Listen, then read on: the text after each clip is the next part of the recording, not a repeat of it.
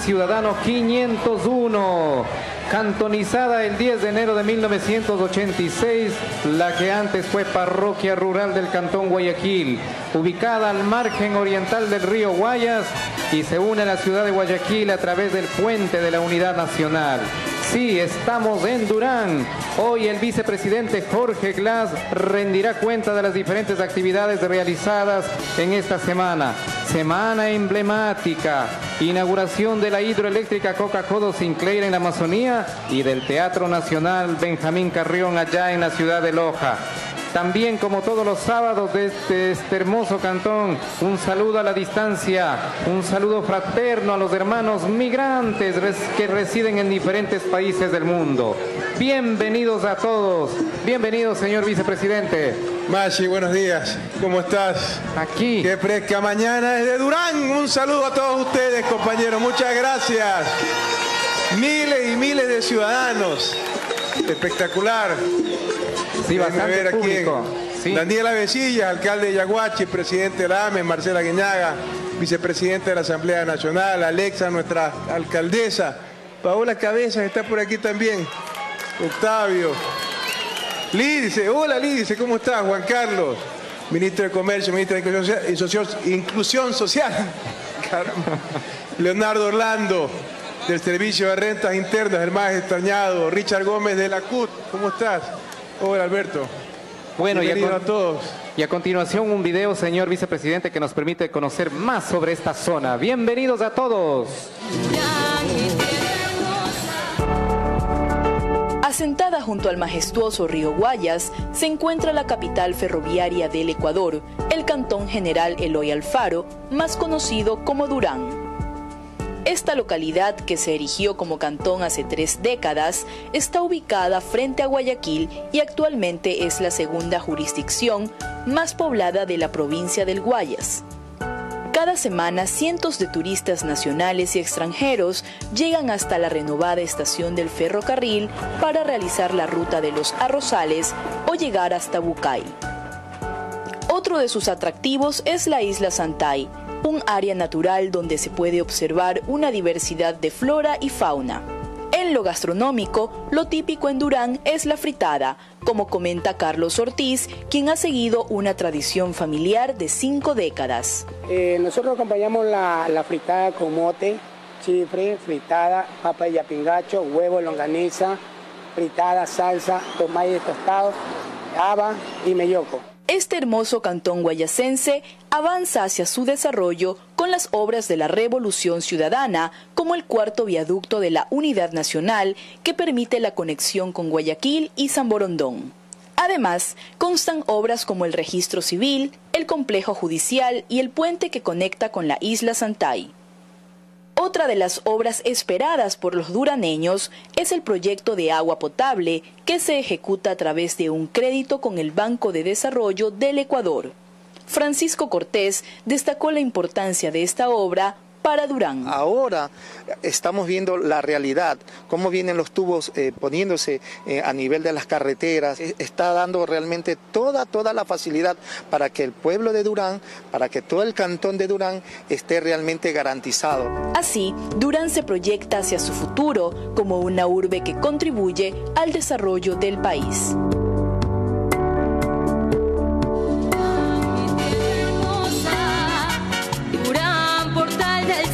Ecuador entero. Enlace Ciudadano número 501. El enlace anterior fue un enlace muy especial, el número 500, que nuestro presidente rindió cuentas a la ciudadanía. Yo no pude acompañarlo. Yo estaba regresando de Bruselas, de la Unión Europea, luego de haber suscrito ese acuerdo comercial multiparte, vamos a hablar un poquito más adelante. Nos fuimos con Juan Carlos, no alcanzamos a llegar al gabinete itinerante. ¿A dónde fue el gabinete? Me parece que fue en Buena Fe, en Valencia, fue en Valencia. Ya no alcancé a llegar, pero indudablemente fue un enlace de fiesta, lleno de alegría. Compañero, les ruego Les ruego que las, las banderas del país, por favor, eh, para no tener ningún inconveniente con el control electoral, como debe de ser, este es un enlace ciudadano. Todos sabemos de dónde somos, pero por favor no en este enlace. Después del enlace nos podemos quedar un rato compartiendo con la militancia. Muchas gracias. Un saludo Juan Carlos Casinelli, ministro de Comercio Exterior. Un saludo a Medardo Cadena. Medardo se encuentra por aquí. Medardo, nuestro ministro de Electricidad. Ayer inauguramos Coca-Cola Sinclair, un gran día para todo el Ecuador. Un saludo para Lidia Larrea, nuestra dinámica ministra de Inclusión Social. Siempre le quedo mal con los eventos. En realidad se había cambiado el evento porque tenía que irte para Manaví. Ya mismo nos ponemos de acuerdo en la fecha. Santiago León, ministro de Industria. Santiago está por aquí, al menos lo tengo en la lista. A veces se lo confunde con un árabe, no. Perfecto. Carlos Bernal, secretario técnico de la reconstrucción. Secretario técnico de ese comité de reconstrucción. Trabajo extraordinario. Nunca será suficiente. Vamos a ver un poco los avances del día de hoy. Un saludo para Adrián Ibarra, viceministro coordinador de sectores estratégicos. Se encuentra, no lo veo. Ya, ya, mencioné a Leonardo Orlando, director de Servicio de Rentas Internas. Tú eres de Puerto Viejo, Orlando, ¿no?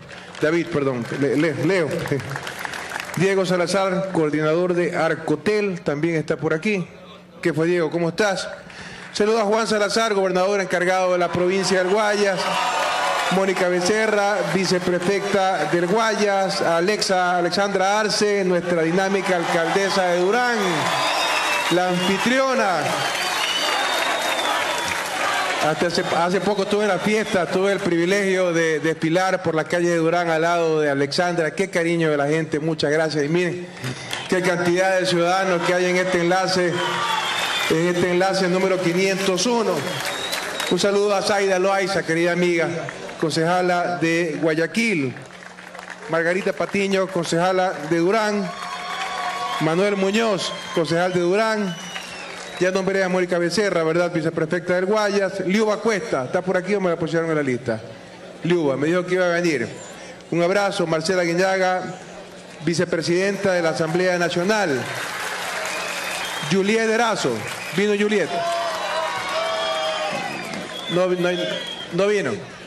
Bueno, aquí está la gente de Cambio Generacional. Un abrazo para todos ustedes, los más entusiastas. Daniela Vecilla, lo nombré presidente de la AME, asambleísta Octavio Villacrés, asambleísta Alberto Arias, compañero revolucionario de Conduce. ¿Cómo estás? María José Carrión, asambleísta de Pichincha. María José, bienvenida a mi provincia. De nuevo me la ponen Marcela Guiñaga, me la han escrito tres veces. Bueno, Marcela Guiñaga de nuevo, vicepresidente de la Asamblea Nacional. Hay que revisar el sueldo de los asambleístas que vienen con ese pantalón roto. Paola Cabeza, ya la nombré también, delegada del Comité de Reconstrucción para la provincia de Esmeralda, hasta hace poco gobernadora. Me olvido alguna autoridad algún compañero que esté presente del equipo de gobierno autoridades de los gobiernos autónomos centralizados, compañeros de los gobiernos parroquiales también, bienvenidos, bienvenidos, bienvenidos a este enlace número 501 desde la hermosa Durán, esta tierra tan querida para los guayaquileños, para todos los ecuatorianos, pero en particular para los que los que vivimos en Guayaquil, nacimos en Guayaquil, yo llevo ya algunos años fuera de Guayaquil, pero cómo no llegar de añoranza cuando recorro las calles de Durán y, cómo está cambiando, cómo está cambiando de la mano de una lideresa, una lideresa de la Revolución Ciudadana, Alexandra Arce. Cuando recorríamos, uno siente el cariño de los ciudadanos. Cuando yo venía por, por las calles de Durán con Alexandra en las fiestas de Durán y ella me, me, iba explicando los cambios y ya regulamos esto. Estuve, me parece que ya hace un año inaugurando el parque el parque industrial, Alexandra, ya imponentes empresas. Ya Durán no es una ciudad satélite o ciudad dormitorio, como se le decía antes. Con la planificación, la visión de desarrollo, con ese importante proyecto de agua potable que está liderando también Alexandra, la gente con su camiseta, ya viene el agua, ya viene el agua. Triste comentarlo porque siempre tuvo que tener agua Durán. Pero primero era una en una parroquia desde que fue cantón, muchos años de malas administraciones en social cristiana, ¿verdad? Que nunca planificaron para que los ciudadanos de Durán tengan agua. Ahora ese proyecto está en marcha y con mucha visión, con planificación estratégica, con normativa municipal adecuada, hay tremendo parque industrial en donde se levantan grandes empresas ecuatorianas y multinacionales que confían en la administración de nuestra alcaldesa. Yo he tenido la oportunidad de visitar algunas de ellas. Hace poco estuvimos inaugurando una fábrica de fibra óptica con inversión 100% privada y que es hecha en Durán, hecha orgullosamente en Ecuador. Les cuento algo, yo tengo un televisor, me compré un televisor 4K, yo como soy técnico, eh, técnico en telecomunicaciones, en audio y video, me gusta mucho esto de la alta definición, entonces me compré un televisor 4K que es ultra alta definición. Y la fábrica de ese televisor está aquí en Durán también. Ese televisor tiene marca ecuatoriana y dice hecho en Ecuador. Es la misma planta que ensambla televisores, televisores Sony, una marca muy reconocida. Pero ya por el componente ecuatoriano, porque han comprado maquinarias ultramodernas que son robotizadas, que automáticamente van instalando en los circuitos integrados en, las tarjetas las tarjetas también son hechas en Ecuador. Es tan alto el componente ecuatoriano que ese televisor Sony sale del Ecuador también con un sello que dice hecho en Ecuador y particularmente hecho Durán. Así que felicitaciones a Alexandra por esa visión. Eso genera más y mejor empleo.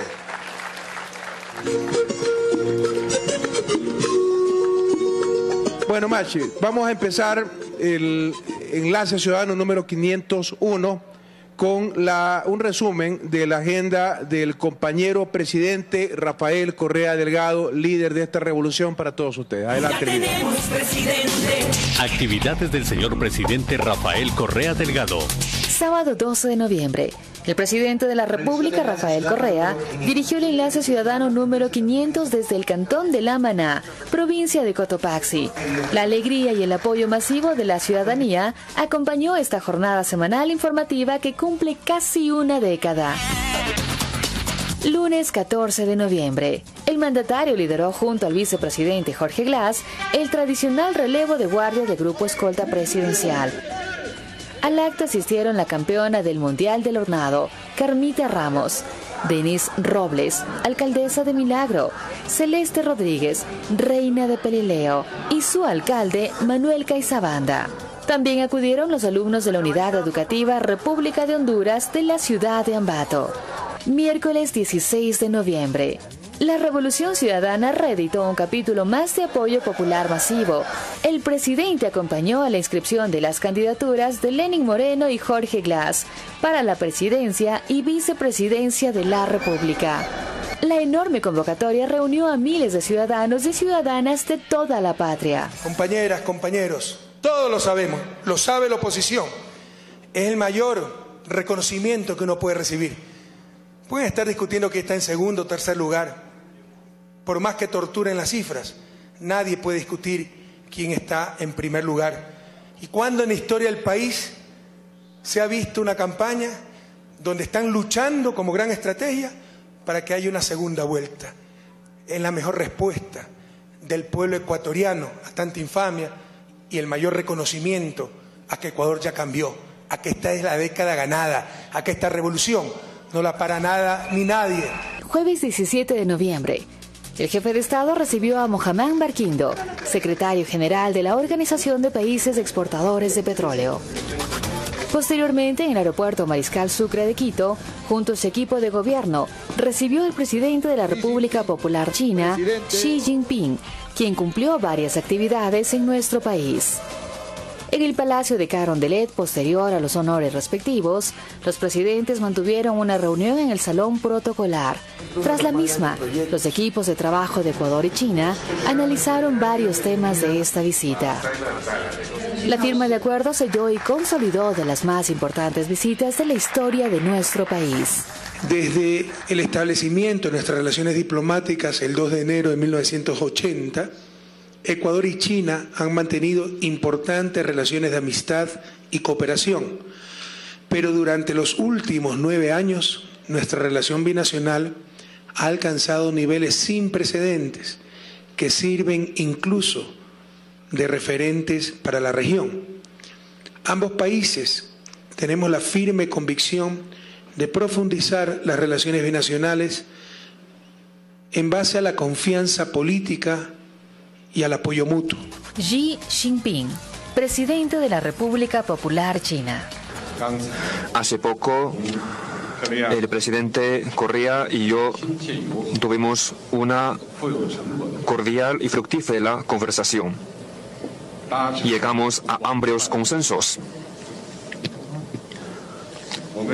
Acordamos elevar las relaciones bilaterales entre China y Ecuador al nivel de la Asociación Estratégica Integral y tomarlo como un nuevo punto de partida para profundizar en mayor medida la confianza mutua estratégica y orientar la cooperación binacional en todos los terrenos para que rindan más frutos. En la noche, las delegaciones participaron de una cena de honor que se desarrolló en el Palacio de Cristal de Ichimbía, viernes 18 de noviembre.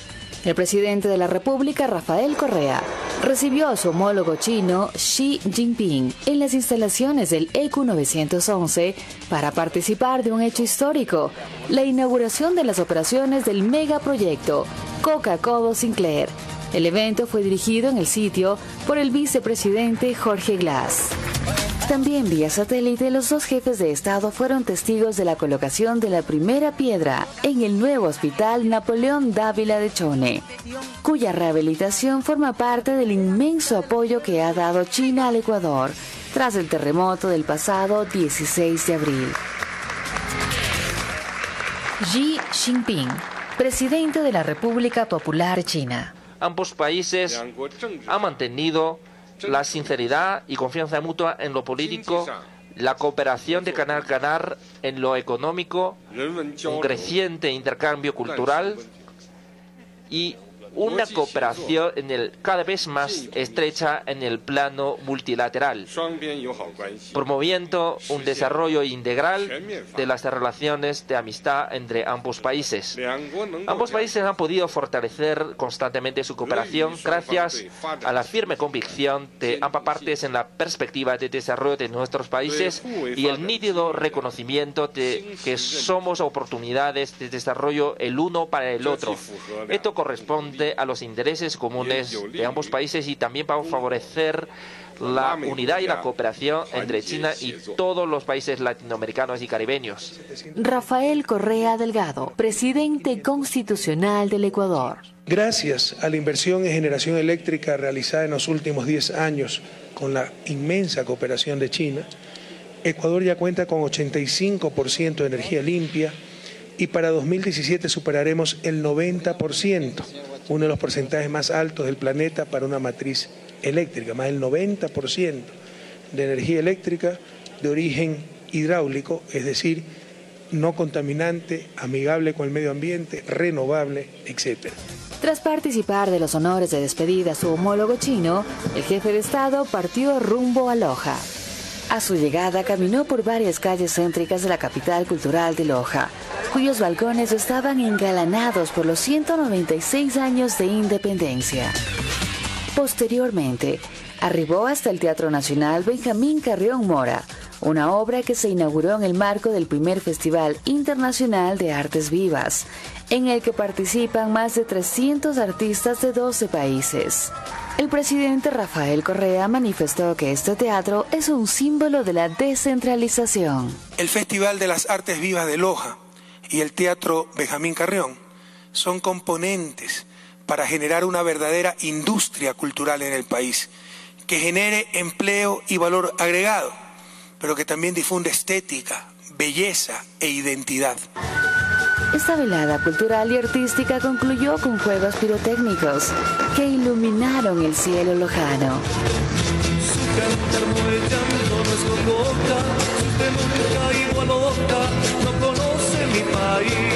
Esa será la patria, mi compañero,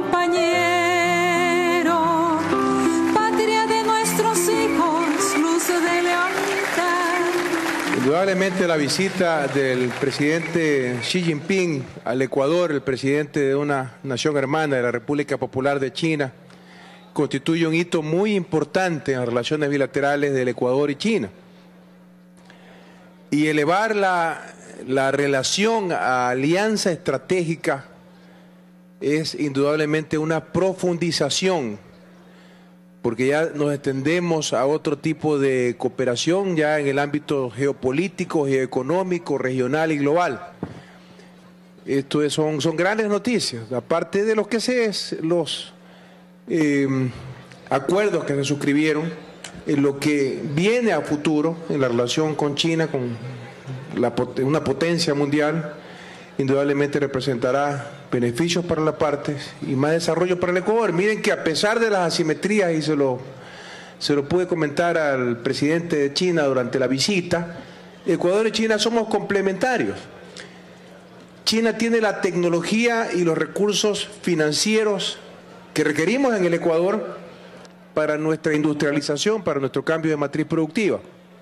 Por otro lado, el Ecuador tiene recursos naturales no renovables que China necesita para sostener su modelo de desarrollo. Y siempre esas relaciones han sido de respeto y consideración. Ustedes, ustedes recuerdan cuando nos íbamos a arrodillar ante el Fondo Monetario para un préstamo de 40, de 60 millones de dólares. ¿Ustedes se acuerdan? ¿Se acuerdan de las famosas cartas de intención? Que se comprometían a no subir los sueldos, a subir el gas, a subir eh, la electricidad, a subir el diésel, a subir los servicios básicos de manera generalizada, a no contratar, a no subir el gasto, que significaba no contratar más maestros, más enfermeras, más médicos para que nuestro pueblo no tenga ni salud ni educación. A ver, ¿quién? A ver, veamos si los más jóvenes probablemente no recuerdan. Hagamos una pregunta de historia. ¿Cuál fue el gobierno que firmó más rápido la carta de intención con el Fondo Monetario Internacional? ¿Quién, quién? Lucio. ¿Y ya quién era el ministro de Economía que firmó la carta? ¿Cómo? ¿Cómo? Pozo. ¿Y a dónde está Pozo ahora?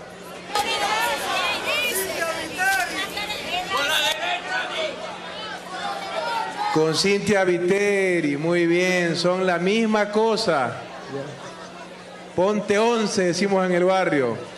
Son la misma cosa, regresarán a los fonditos, regresarán a guardar la plata del colchón para pagar deuda externa, regresarán los paquetazos, el pinchacito, ustedes se acuerdan.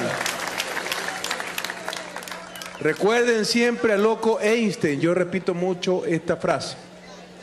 Hacer lo mismo y esperar un resultado distinto es síntoma de locura. Sin embargo, ellos volverán a hacer lo mismo, ya lo andan anunciando, ya dicen, vamos a hacer los fondos otra vez, los fonditos, estos fonditos donde estaba la plata escondida. Pero vamos a ver qué hacían con esos fondos en el pasado. Lo dejaremos eso para el final, estará bastante interesante. Un saludo a todos los hermanos migrantes. Estuve en, por pocas horas en Bélgica, pero ahí los ecuatorianos siempre recibiendo al vicepresidente, son pocos ecuatorianos en Bruselas comparado con, otras, con otros países, siempre llenos de entusiasmo y siguiendo muy de cerca a lo que sucede en el Ecuador de la Revolución Ciudadana.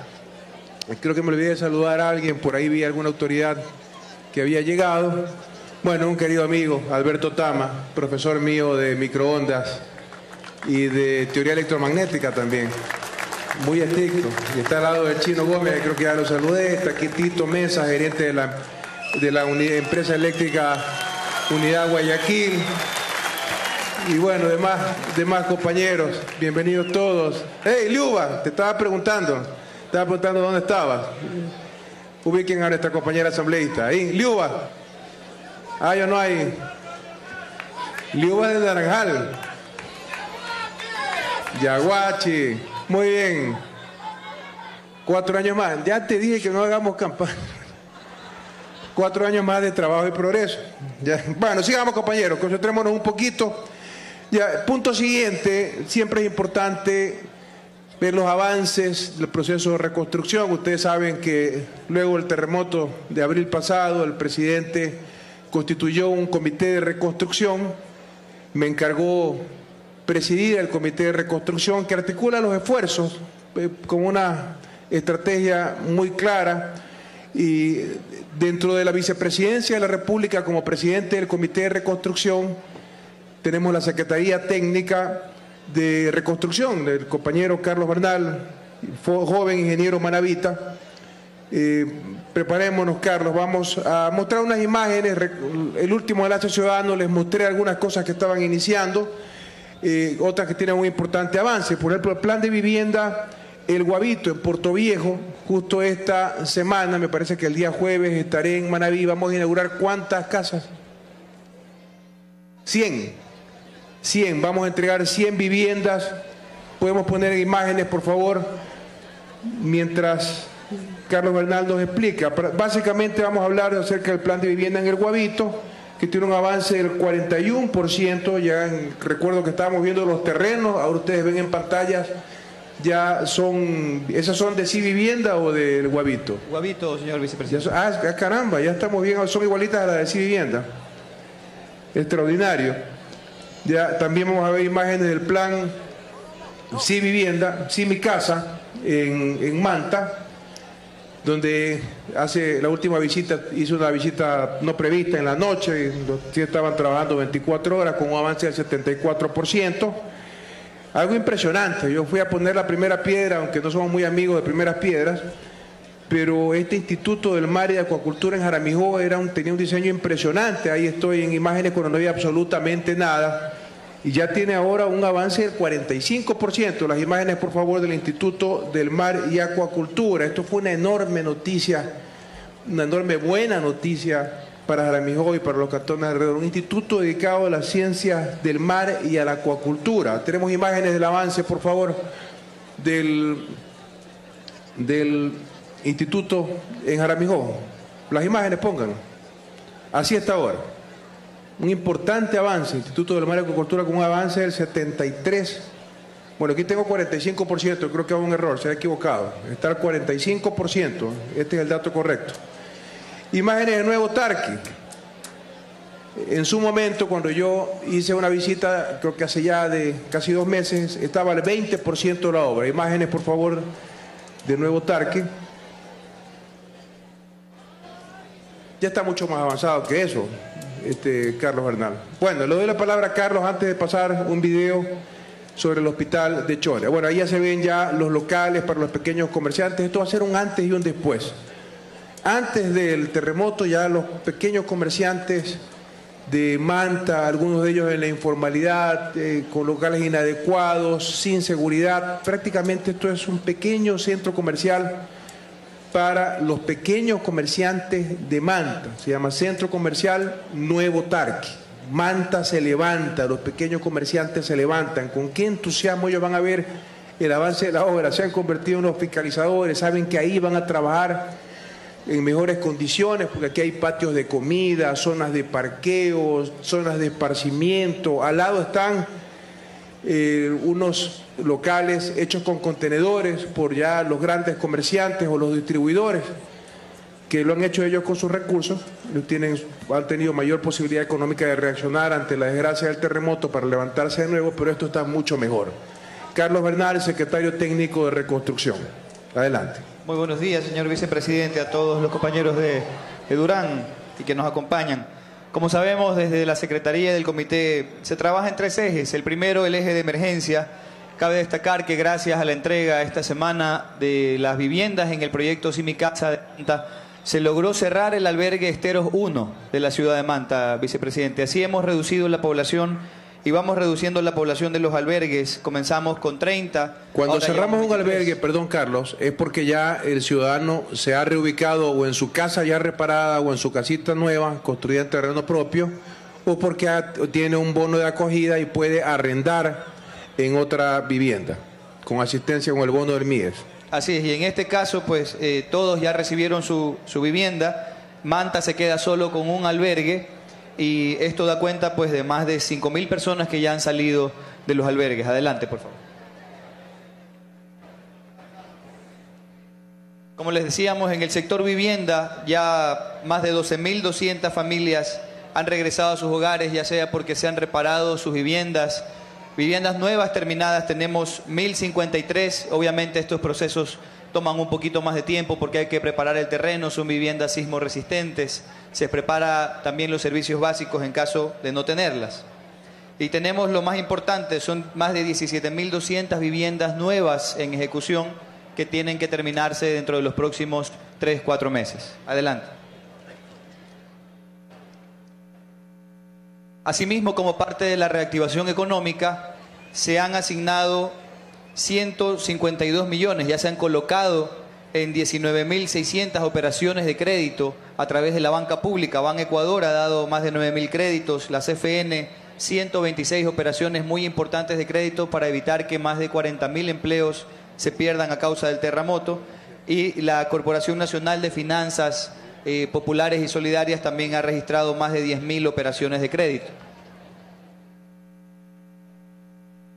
Como les comentaba, solo dos ejemplos, yo creo que en los videos se va a ilustrar mejor, pero haciendo el, relato de los proyectos del Guavito en Puerto Viejo y Simi Casa, el Guavito tendrá 600 viviendas, Simi Casa 400 viviendas nuevas en urbanizaciones. Tenemos ya importantes porcentajes de avance y han permitido que las familias vayan saliendo a sus hogares después de haber vivido en una carpa casi por siete meses. Sigamos.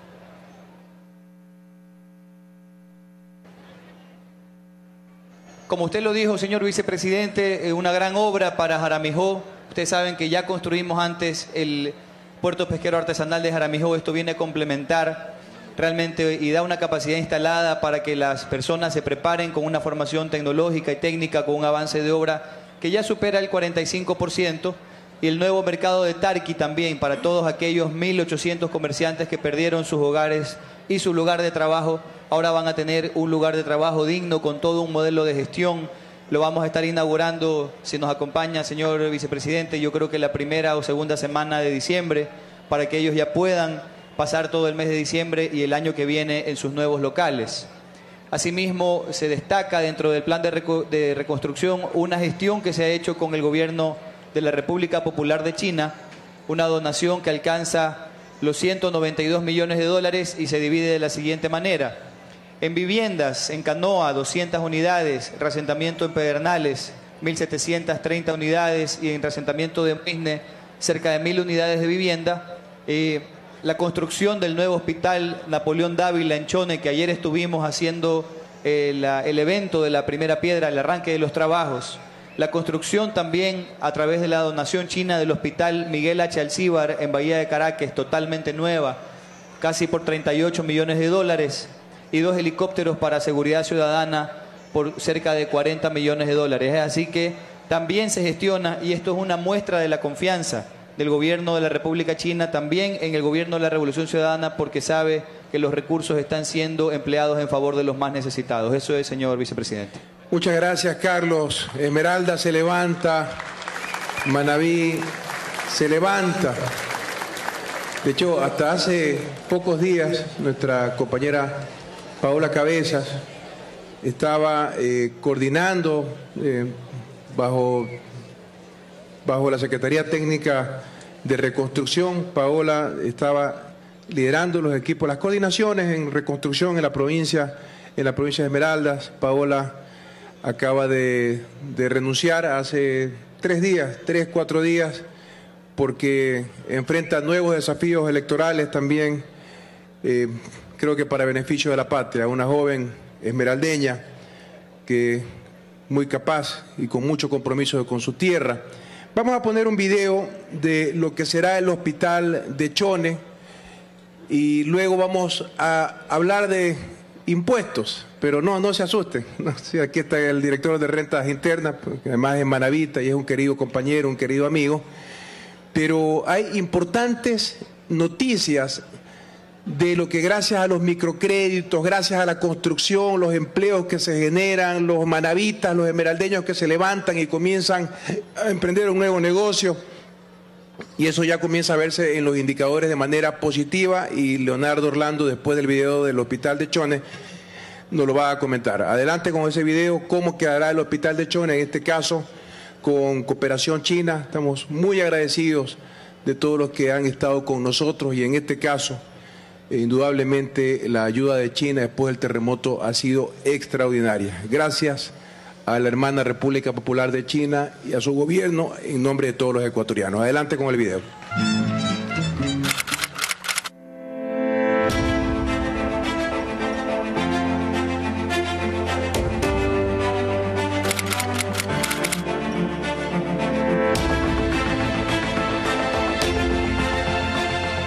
Sismo del 16 de abril, el Hospital General de Chone, Napoleón Dávila, colapsó totalmente.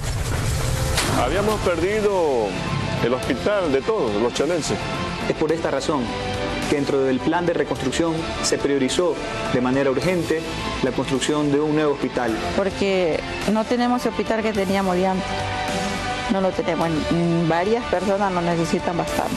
Hoy, el nuevo hospital Napoleón Dávila de la ciudad de Chone es una realidad gracias a la colaboración del gobierno chino. Este hospital tendrá una tecnología sismo resistente de punta, que ya ha sido probada en el puente Los Caras. Eh, que mejor sería pues un hospital más moderno que el que teníamos. Una vez construido, permitirá que el hospital sea uno de los lugares más seguros en caso de un nuevo evento sísmico. Será un antes y un después para la ciudad de Chone. Beneficia a muchísima gente, al pueblo. Desde su construcción generará cientos de plazas de empleo para nuestros hermanos de la zona. Permitirá dar a nuestra gente, a nuestros hermanos que fueron golpeados por el terremoto, una atención de calidez y calidad, tal como lo merecen. Cuando uno se encuentra un poco caído, qué lindo es tener un amigo, un vecino que lo levanta. Un agradecimiento a la comunidad china por este lindo gesto hacia nosotros los ecuatorianos. Y decirle un Dios le pague, un Dios le pague al gobierno chino.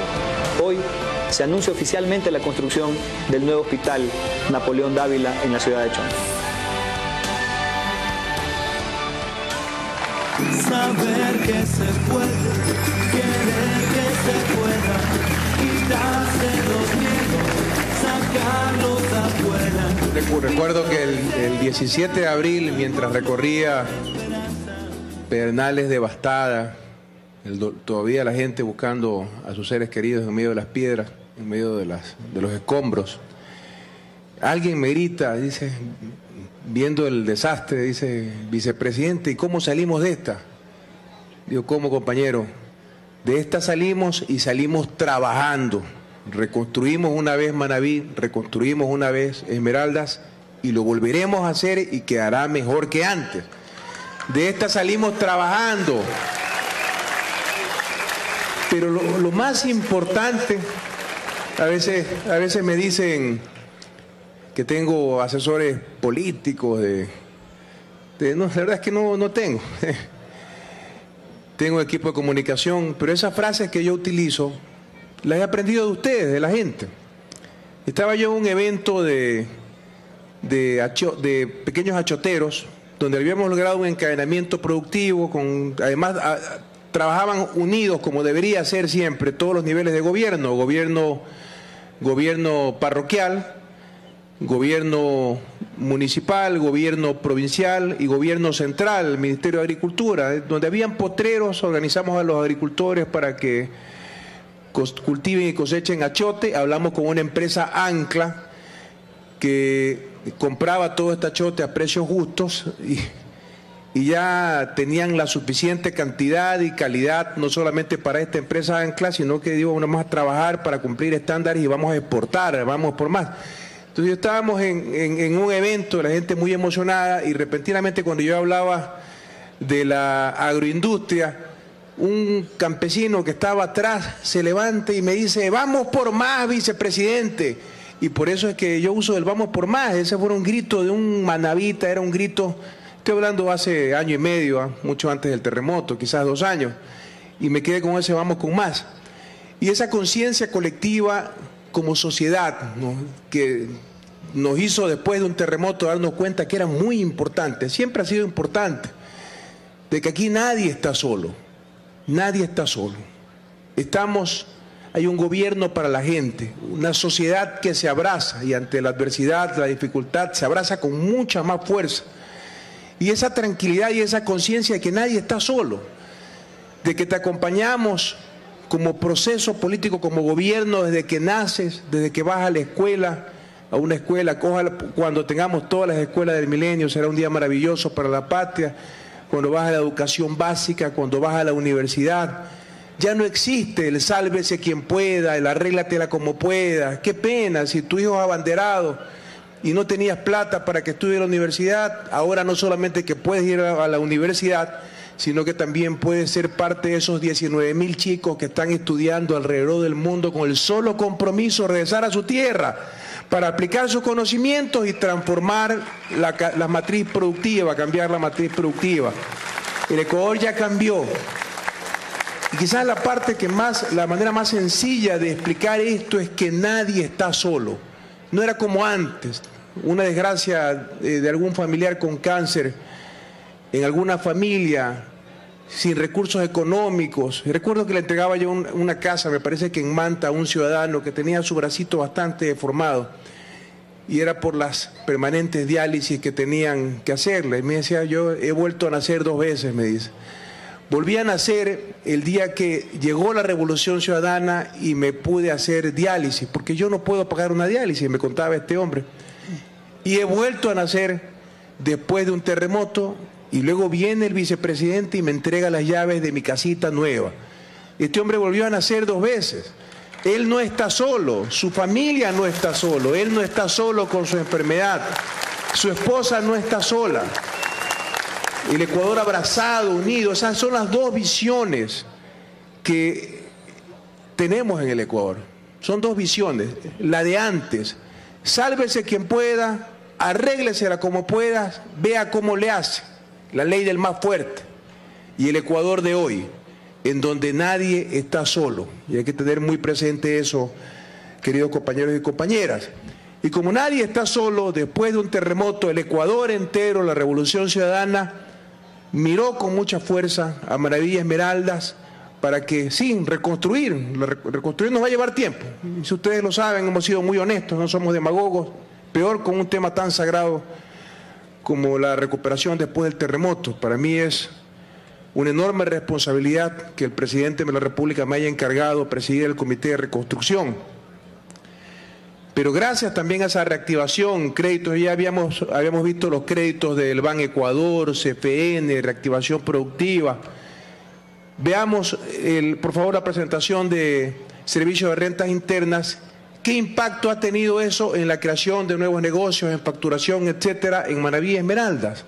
Y vamos a ver cómo Manaví Esmeraldas se levantan. Le damos la bienvenida a Leonardo Orlando, director general del Servicio de Rentas Internas, que además es un profesional de Puerto Viejo, portovejense. Bienvenido, Leo.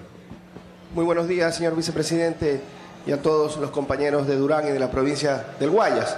Sí, en efecto, cuando ocurrió este trágico suceso del 16 de abril, eh, desde ese mismo momento nos pusimos a trabajar con el Frente Económico, el Frente Productivo, a diseñar la ley de solidaridad, que establecía contribuciones solidarias que no obviamente aplicaban para las zonas afectadas por el terremoto, y con esos recursos de la ley de solidaridad hemos financiado en buena medida la reconstrucción y reactivación económica de Esmeralda. ¿Cuáles son cifras? Como ustedes conocen, los primeros meses del año han sido muy duros en la parte económica, en la parte fiscal, por choques externos. Recordemos que llegamos a tener petróleo por debajo de los 20 dólares. Y justamente en, ese este año. Eso es muy importante. Yo estaba con, en la tierra de Liuba. Eh, ¿Dónde está? ¿Dónde se instaló Liuba a la finales? Ah, aquí está. En la tierra de Liuba estábamos eh, comiendo donde, ¿cómo se llama? Donde venden las humitas. Ah, en Villanueva. Pero hay un paradero, ¿no? hay humitas de de varios tipos. Y conversaba con unos cacauteros que estaban ahí, unos pequeños agricultores, y se quejaban, me decía, vicepresidente, me está pagando 100 dólares el quintal de cacao. Le digo, compadre, por 100 dólares estoy entregando 5 barriles de petróleo. O sea, está, el mundo está así hay que tener, tener mucha conciencia. Por favor, Leonardo. Sí, y en efecto, justamente en esa época del año es donde se ve en los primeros tres meses eh, la caída de recaudación a nivel nacional y Esmeraldas y Manabí, que está en la gráfica en azul, también. Veamos este cuadro, a ver si lo puedo, si es que funciona esto. Sí, sí funciona. Sí. Veamos, esto arranca en enero, de este año. Esto es. Comparado contra el mismo periodo del año 2015. comenzamos a nivel ver, para, nacional. para poner este, un ejemplo, ¿no? este, estamos en la curva azul es Maravilla Esmeraldas y la verde, los que nos están siguiendo por televisión, es el resto del país. Fijémonos como ejemplo eh, en mayo, ¿no verdad? Ese significa la curva azul que, el, que mayo del 2016 comparado con mayo del 2015 tuvo una caída del 32% en recaudación. Estoy interpretándolo bien, ¿no verdad? As- Así es, señor. Si yo comparo mayo del 2016 con mayo del 2015, se recaudaba 32% menos. ¿De acuerdo? Así es. Veamos, veamos, ya evidentemente esto es post terremoto y veníamos también con un proceso de disminución de recaudación producto del choque externo. Miren compañeros, esto es muy sencillo, sobre todo para los más jóvenes, para que no se dejen gatusar ahora que los politiqueros dicen cualquier cosa. El tema es muy sencillo. Hay menos masa monetaria porque hay menos dólares en la economía. ¿Por qué hay menos dólares en la economía? Como yo no puedo imprimir moneda, porque somos un país dolarizado, la dolarización hay que fortalecerla. Y entraron menos dólares, ¿por qué? Porque bajó el precio del petróleo, porque bajó el precio del atún, porque bajó el precio del aceite rojo de palma africana, en menor medida el camarón, se recuperó un poco. Es decir, productos que, traían dólares por las exportaciones, los principales, el petróleo bajó a menos de 20 dólares, imagínense. Ahora está a 44, me parece, por estos días, pero llegó a estar a menos de 20 dólares. Sí, una cosa eh, que no se, no se veía, o creo que no se ha visto nu- nunca en muchas décadas. Y bajaron de precio otros productos de exportación, como el atún, por poner, se, cayeron mercados relevantes, devaluaron países vecinos. Entonces la flora ecuatoriana es la mejor del mundo, nosotros competimos por calidad, pero ciertos mercados dijeron, bueno, pues la flor colombiana es más barata. ¿Por qué? Porque Colombia devaluó en más de un 85%. Eso causa menos cantidad de dólares en la economía y hay un, eh, una disminución en la recaudación en estos meses. Pero miren ustedes, nosotros inmediatamente, desde después del terremoto, desde abril mismo, comenzamos a entregar microcréditos de Ban Ecuador, CFN, a recuperar cadenas productivas. Por ejemplo, el norte de Manabí eh, y el sur de Esmeraldas tienen un fuerte impacto camaroneras. Ahí vive la, ciudad- la ciudadanía de las actividades relacionadas con la, cosecha de camarón, el cultivo y la cosecha de camarón. Vean ustedes qué pasa, eh, y me corrige Leonardo si digo alguna imprecisión. Ya entre julio y agosto comienza a haber una recuperación en donde ya, por ejemplo, en agosto podemos ver que hay el 4% de incremento en recaudación respecto a agosto del año pasado, del 2015. Y vean ustedes, el resto del país está en menos 4%, es decir, en el resto del país se está recaudando menos 4% comparado con agosto del año 2015, producto de las cosas que ya les he explicado. Pero Manaví y Esmeraldas está en franca recuperación. En agosto recaudaron la recaudación nacional para rentas fue el 4% mayor en agosto, el 12% mayor en septiembre y el 32% mayor en octubre. Y el resto del país el 4%. Significa que la recuperación productiva, la creación de valor, el comercio, la actividad económica en Manaví y Esmeraldas está recuperándose y está creciendo mucho más rápido que el resto del país gracias a las políticas públicas de la Revolución Ciudadana. Nadie está solo. Vamos a salir de esta construyendo y trabajando. Continúa Leo.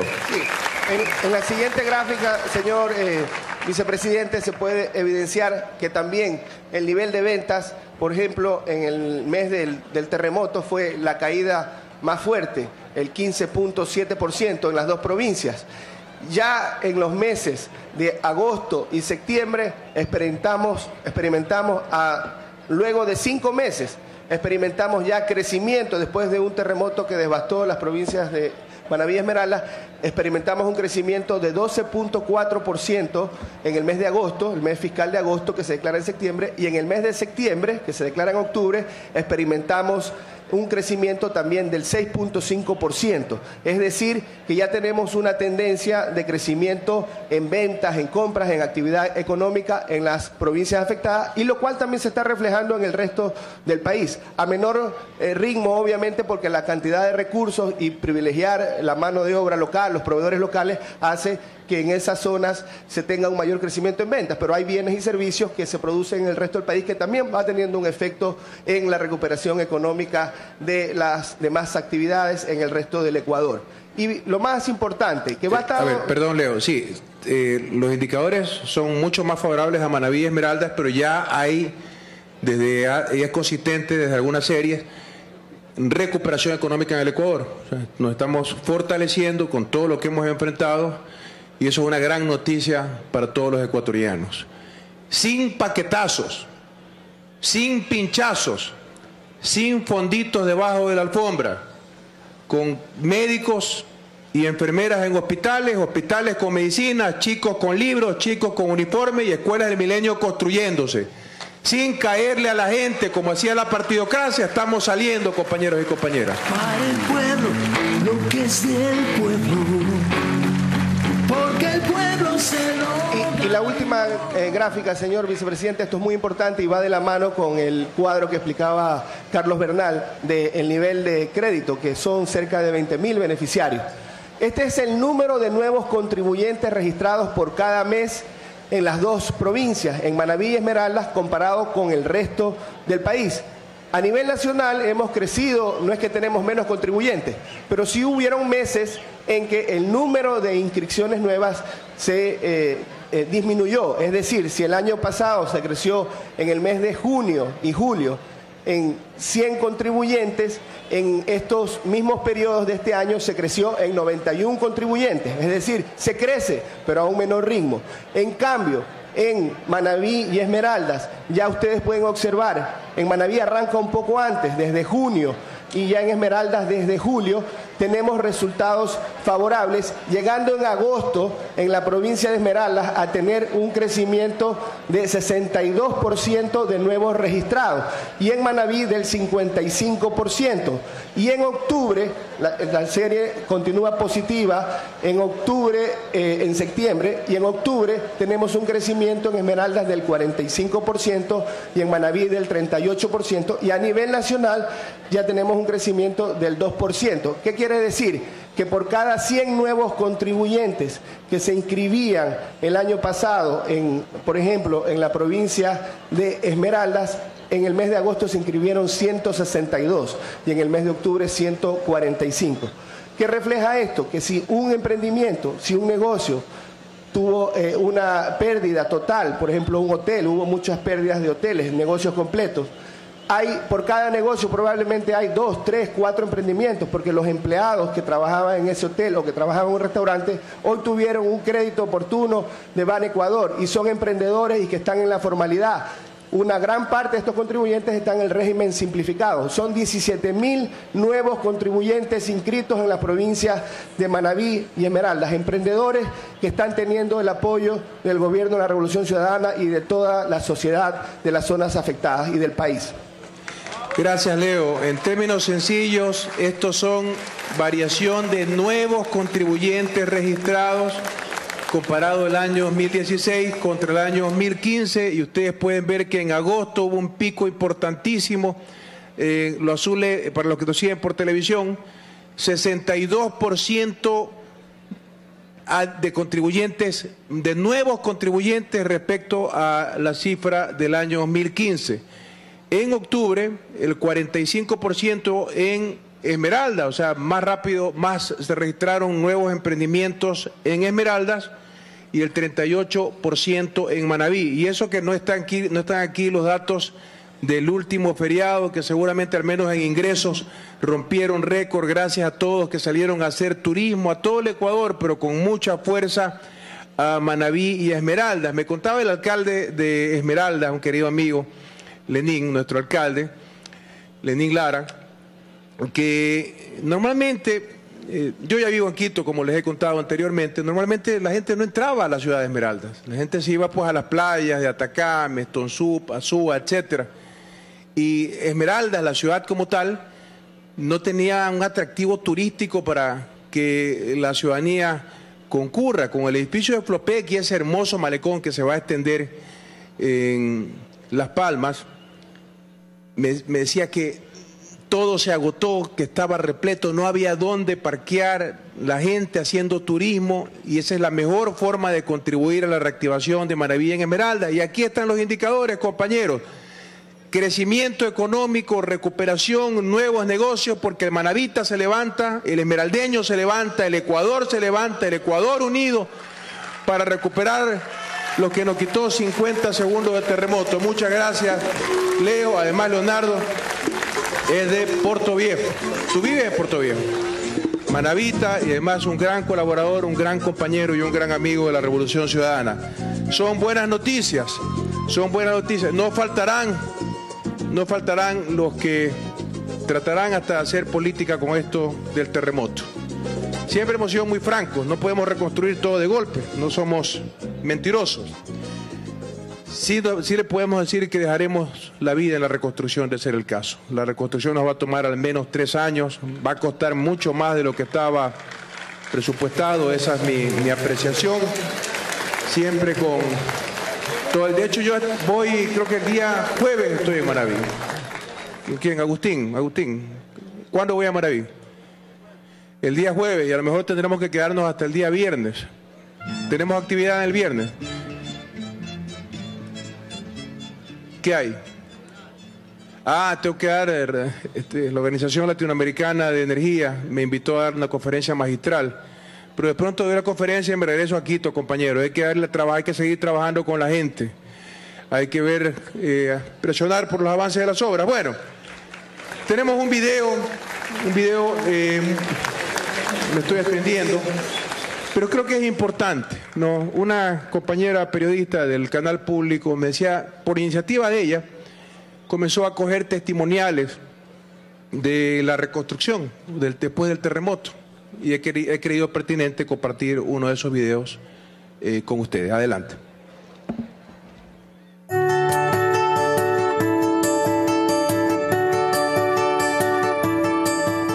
Nombre es Fricción Froilán Cherne. He vivido toda mi vida aquí, soy el dueño de este restaurante, Atardecer de Mompiche. Cuando llegué en mi negocio lo encontré con platos, vasos, todo caído por todos lados, botella, todo regado, hecho un desastre.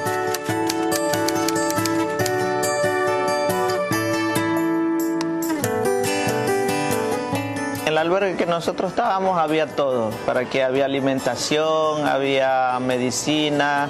Eh, solicité un crédito en el banco, en Ban Ecuador de 15 mil dólares, se me fueron 10 mil dólares en todo lo que se me destruyó y los otros 5 mil dólares los implementos para nuevamente empezar a trabajar. Tengo el bar, tengo la pizzería. Gracias a Ban Ecuador estamos trabajando tres personas de aquí de Montiche. Están muy felices porque son familias enteras. Estamos listos para servirle a todos los turistas. Soy Cristina Santana Arboleda. El 16 de abril yo me encontraba con mi familia en mi casa cuando suscitó lo del terremoto.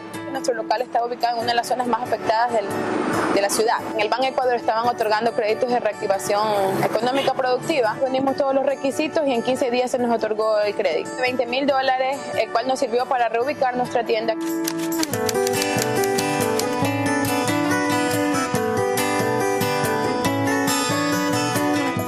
Sentimos muy contentos porque teníamos la oportunidad de reactivar nuestro negocio y aparte de eso nos dieron seis meses de gracia. La gente nos ha buscado luego del terremoto, nuestros clientes han sido fieles, contamos con el mismo número de empleados, hemos conservado a nuestra gente y hemos podido dar un mejor servicio. La ayuda gubernamental llegó a tiempo y nosotros como pequeños empresarios aprovechamos los recursos y sus facilidades de pago. Y hoy nos sentimos muy orgullosos de poder ayudar a reactivar la economía de Puerto Viejo. Gracias al crédito que recibieron de Iván Ecuador, ahora yo también estoy beneficiado. Trabajo en la reconstrucción de este local comercial. Que gracias a, la a que eh, nuestros vecinos de Puerto Viejo Alegre se pudieron reactivar, nosotros hemos podido reactivarnos también aquí, gracias a que a ellos le compramos la, la, la materia prima y nosotros de eso nos abastecemos para nuestro negocio. Y aquí seguimos para seguir adelante. Vamos Puerto Viejo, vamos Manaví.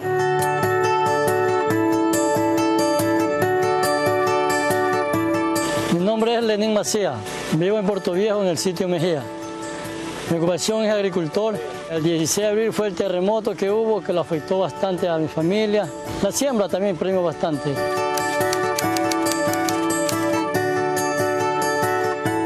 Yo hice un préstamo de 3.500 dólares. Y el Banco de Ecuador fue rápido. Fue inmediatamente, con este préstamo yo compré manguera, bombas, todo lo que necesitamos para seguir fincando. Mi finca está progresando y toda mi familia está trabajando. Yo soy Pedro Macías. Con este préstamo que hicimos pudimos comprar los expresores de agua para poder seguir trabajando. Gracias al crédito que Ban Ecuador nos dio, la hacienda está progresando, nos mantenemos unidos. Mi esposo llega feliz a la casa, mi suegro feliz porque la hacienda está dando productos ahorita. Nosotros trabajamos nuestra tierra y generamos empleo.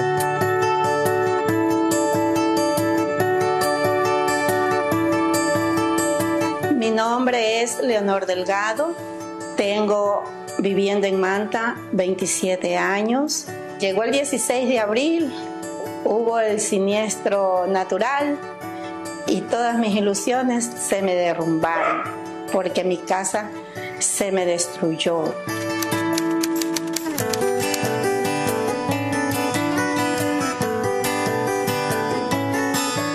Pero ¿cuál fue la sorpresa? que en 10 días aparecieron unos señores arquitectos de Almidubi. Me inscribí un 6 de julio y el día 8 de julio vino el arquitecto a decirme que ya tengo mi casa nueva. Y fue una alegría tan grande. Es sismo resistente, tiene techado con cobertura para cuando hace soles muy fuerte no se sienta la calor. Tengo mi jardincito donde recrearme también Solamente pasó un mes y ya tengo mi casa nueva y ahora la gozo.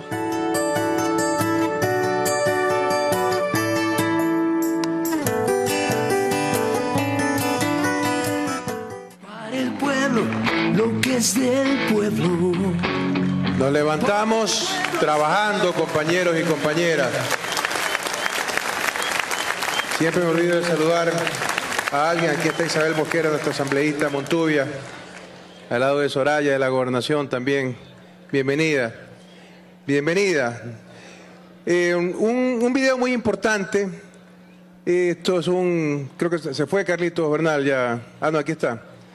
El, Carlos, el equipo de reconstrucción, eh, organizó un concierto en Bahía. Yo quería hacer un concierto en Pernales, Carlos se me adelantó. Eh, Carlos es de Puerto Viejo, su esposa es de Bahía. Y como manavita, bueno, todos sentimos como propio el dolor de cualquier ecuatoriano en cualquier rincón de la patria, más aún después de un terremoto. Y cada vez que visitaba, yo acostumbro a manejar en mis recorridos, eh, la mayoría de las veces hasta mi carro, mi camioneta, y venía conversando con, con Carlos y le decía, este, hay ciudades donde todavía se siente tristeza. Hay otras que son un hervidero de comercio por, la actividad. No quiero hacer referencia a una u otra, no, no es, no es el, espíritu de mi comentario, pero lo que quiero decir es que, en poco tiempo Carlos y su equipo, yo no pude ir, la verdad es que fue un, un feriado ajetreado para mí por muchas cosas y vamos a hablar de eso más adelante pero se organizó un concierto, un concierto rehaciendo sueños en Bahía de Caracas con importantes artistas y estuvieron más de 40 mil personas en la playa. Quiero que vean el video y luego Carlos nos dará algún comentario al respecto. Muchas gracias a todos los artistas nacionales y extranjeros que estuvieron aquí dando alegría a los ecuatorianos porque en el Ecuador de hoy nadie está solo. Adelante, por favor. Más de 40.000 personas en Bahía de Caracas disfrutaron y apoyaron el concierto Rehaciendo Sueños, organizado por la Secretaría Técnica de Reconstrucción de la Vicepresidencia de la República el 4 de noviembre. Un evento solidario donde reconocidos artistas apoyaron las tareas de la reconstrucción. Fanny Lu, Jorge Celedón, Felipe Peláez. Tenemos que ser guerreros, jamás se, se puede perder la esperanza, ponernos la mano en el corazón, en el corazón cada quien y decir voy para adelante. Ahora voy por más y tiene que ser mejor ahora. La Toquilla y muchos más fueron parte del concierto para volver a rehacer los sueños de nuestros hermanos que meses atrás sufrieron los fuertes sismos. Esta iniciativa consiguió levantar el turismo en este cantón, llenando las plazas hoteleras disponibles de Bahía de Caracas y sus alrededores, reactivando la economía de sus habitantes. Previo al concierto, los artistas visitaron el albergue Toallí de Manta, donde compartieron con familias que se encuentran albergadas, brindándoles un concierto privado que consiguió emocionar a grandes y pequeños. Una noche de unidad, esperanza y grandes sueños por la reconstrucción.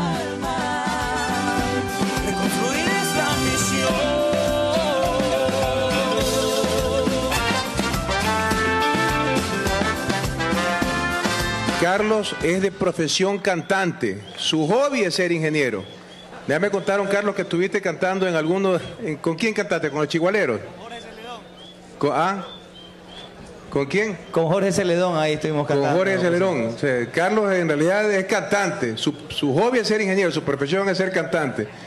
Bueno, Carlos, algún comentario muy rápido. Bueno, agradecer a Jorge Celedón, a Fanny Lu. Oye, ¿me conseguiste la foto firmada?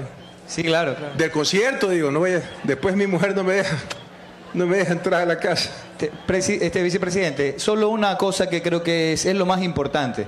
Realmente este concierto fue gestionado a través de, la, de las embajadas de Ecuador y de Colombia. Los artistas no cobraron absolutamente nada, vinieron por un gesto humanitario y siempre quedará el Ecuador eternamente agradecidos hacia ellos. Estuvieron también unidos a esta causa artistas nacionales como La Toquilla, Los Chigualeros, otras bandas locales. Fue un Juan festival. José Mesa. Felipe Peláez, Orquesta Melómanos. Así es, eh, Juan José Mesa, el hijo de Lisandro Mesa, también un reconocido. ¿Y no tienes un video de la parte que tú estás cantando? No. Lo tenían, pero creo que no lo, no lo, no lo van a poner. Busquen si lo tienen ahí. este- Busquen si lo encuentran mientras avanzamos con la agenda. Vice, lo, lo importante. Tremendo cantante, ¿ah? Lo banqueó a Patiño. Lo, lo importante, Vice, es que las personas olvidaron por ese momento eh, y tuvieron una alegría realmente. Hicimos una zona especial, una zona especial que muchos llamaron VIP, y ahí pusimos a toda la gente del albergue, a todas las zonas que perdieron sus casas. Ellos fueron los más importantes de ese concierto, más de 40 mil personas, y le mandé un correo al presidente diciéndole que lo resumía de la siguiente manera. Cuando salíamos ya terminando el concierto, viendo que todo el mundo fuera seguro a sus casas, a propósito, ni un herido, ni, una, ni, una, ni un desmán se suscitó. 40 mil personas. Así es. Y yo le dije, presidente, lo voy a resumir así. Una señora a la salida me, me- me abordó y me dijo, mire, he vendido en cuatro horas lo que no había vendido o no esperaba vender en una semana. Así que muchas gracias.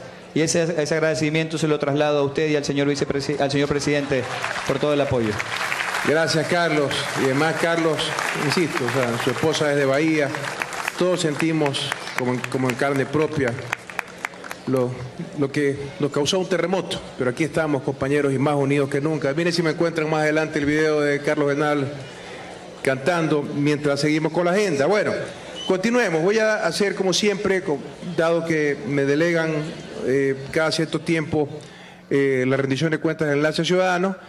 Voy a arrancar el miércoles 9 de noviembre del 2016, en donde emprendimos un viaje muy importante con Juan Carlos Casinelli. El, acuerdo comercial con la Unión Europea. Este acuerdo multiparte que dista de ser un tratado de libre comercio, no tiene capítulo de inversiones, en donde se han logrado. Oh, el Amparo Guillén, querida amiga, bienvenida. Gracias, gracias por estar aquí. Muchas gracias. El, acuerdo multiparte, ¿por qué se llama multiparte? Porque es un acuerdo, esta negociación arrancó con la región andina, Colombia, Bolivia, Ecuador, Perú. Eh, Bolivia no, no ha suscrito el acuerdo, no ha llegado a un acuerdo. Estaba ya eh, suscrito el acuerdo entre la Unión Europea, Colombia y Perú. El Ecuador se levantó de la mesa, esto tomó mucho tiempo. Y aquí vienen, como siempre tienen que criticar por algo, que nos hemos demorado demasiado. Miren, el acuerdo se alcanzó en el año eh, 2000, 2014 y se consiguió una extensión de las preferencias arancelarias que vencen a fin de año y si todo avanza de acuerdo al cronograma lo tendremos en vigencia para el primero de enero del 2017. Pero había un tema que teníamos que resolver, había un, un proceso, un panel, creo que le dicen, ante la OMC por el, el banano. ¿no? Había un trato discriminatorio y de hecho la OMC nos dio la razón, nosotros nos levantamos de la mesa y luego comenzamos a negociar lo más importante, compañeros, las oportunidades sí. Ya voy a hacer mi comentario al final acerca de las oportunidades, pero en este momento, mientras uno fortalece su matriz productiva, mientras va hacia la agroindustria, la productividad, la industrialización, etcétera, teníamos que proteger a los pequeños o a las cadenas productivas más sensibles y lo logramos.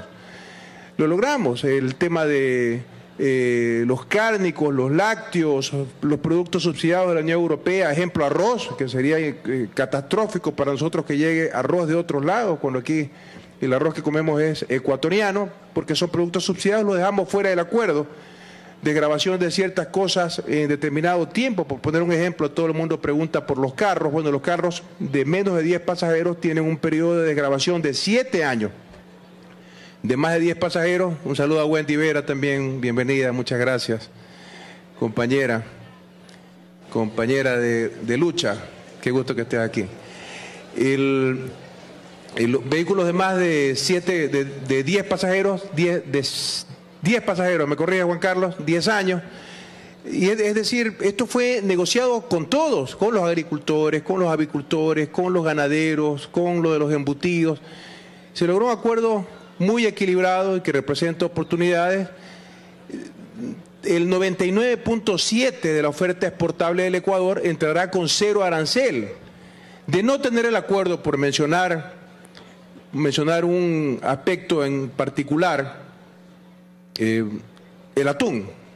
El atún que ahora entra sin arancel, vencen las preferencias arancelarias en diciembre, pasaría a pagar el 24% de arancel en el año 2017. O sea, prácticamente el atún se quedaría fuera del mercado europeo, porque otros países sí tienen las preferencias arancelarias. Todo esto pesa a la hora de la evaluación de la negociación. Se alcanzó un buen acuerdo, un acuerdo muy positivo para el Ecuador que representa oportunidades y el futuro. Ustedes saben que yo tengo ese defecto, siempre estoy viendo hacia adelante. Toda la oferta industrializada, mire que hablamos de cambio de matriz productiva, de industrias industrializantes, de industria, industrias intermedias, industria pesada, innovación, tecnología. Toda la oferta exportable que tengamos hoy o que tengamos a futuro, lo que no hacemos ahora, pero que con el cambio de matriz productiva, los productos de petroquímica, etcétera, entrarán a la Unión Europea con cero aranceles. Entonces, cuando un inversionista eh, quiera montar una fábrica, sea inversión extranjera directa o inversión ecuatoriana, cuando un inversionista mira al Ecuador podrá verlo como un país de 16 millones de personas, pero además que tiene un acuerdo comercial para toda su oferta exportable a 28 países de alto poder adquisitivo, que son 514 millones de personas aproximadamente. Así que tendremos que planificar para 540 millones de personas en términos, en términos generales. Tenemos primero, eh, para mostrarles, las declaraciones de prensa que dimos eh, Juan Carlos Casinelli y yo antes de partir para Bruselas. Juan Carlos Casinelli, ministro de Comercio Exterior. Es donde podemos exportar hoy en condiciones de estabilidad, de seguridad. Es decir, ya no estamos sujetos a un tema de preferencia arancelaria por algo que tiene que ver con los ingresos o no del país. Hoy vamos a ser socios comerciales y se libera el, prácticamente el 99.8 de la oferta exportable. Y en cuanto a los productos que vienen de la Unión Europea, hay una serie de mecanismos que permiten precautelar condiciones de cadenas productivas que pueden ser sensibles, papa, arroz, cebolla, etcétera, leche, cárnicos, de tal forma que se vaya adquiriendo competitividad con los años y se dé un arancel de protección a estos productos. Es fundamental recalcar, nosotros tenemos una serie de medidas que permiten desarrollar nuestra producción, precautelarla eh, durante varios años hasta entrar en un 100% de competitividad. Jorge Glass, vicepresidente constitucional del Ecuador. Tenemos eh, la enorme responsabilidad de asistir a la suscripción del acuerdo multipartes con la Unión Europea, que representa no solamente conservar o fortalecer las exportaciones ecuatorianas, representan ya ahora 2.700 millones de dólares en exportaciones, nuestro principal destino no petrolero, nuestro principal destino para las exportaciones de la economía popular y solidaria, nuestro principal destino para eh, las, el esquema de comercio justo de nuestros pequeños productores, que representa no solamente los beneficios de mantener y evitar desviación de comercio en productos estrella de exportación ecuatoriana, como por ejemplo el caso del camarón, el atún, el 99.7% de la oferta exportable de los ecuatorianos entrará con 0% de arancel. En este Ecuador, República de Oportunidades, tendrán que planificar no solamente. Ministro de Comercio Exterior.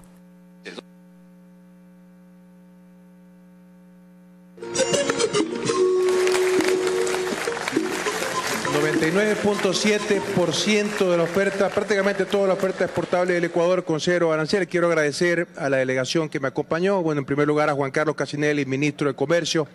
Un aplauso para Juan Carlos, un trabajo muy importante para alcanzar los plazos. Muy importante. Eh, Fernando Yepes, vicecanciller. Pablo Villagómez, jefe de misión del Ecuador ante la Unión Europea. Nos acompañó Mariano Zambrano, prefecto de la provincia de Manabí. Muchos de los productos exportables de Manabí tienen como destino la Unión Europea. Eduardo Ledesma, director ejecutivo de la Asociación de Exportadores de Banano. Alejandro Martínez, presidente de Expo Flores. Mónica Maldonado, directora ejecutiva de CEIPA, desde la pesca de atún, ¿no verdad? Y Blanca también.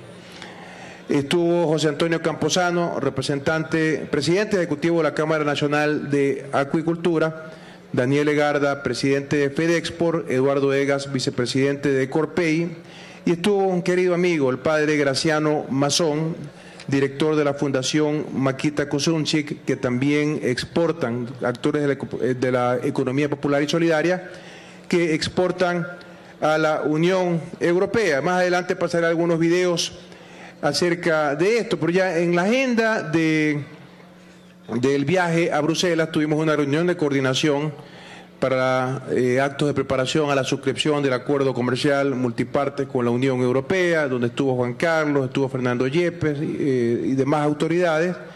Hubo una cena ofrecida por eh, nuestra delegación en Bruselas para toda, para toda la delegación eh, al día siguiente tuvimos entrevistas con medios internacionales, una entrevista de prensa con Euronews, eh, básicamente para comentar acerca de los desafíos que representaba este nuevo acuerdo comercial que generará oportunidades y generará empleo en el Ecuador. Luego tuve una segunda entrevista con la agencia F de Noticias.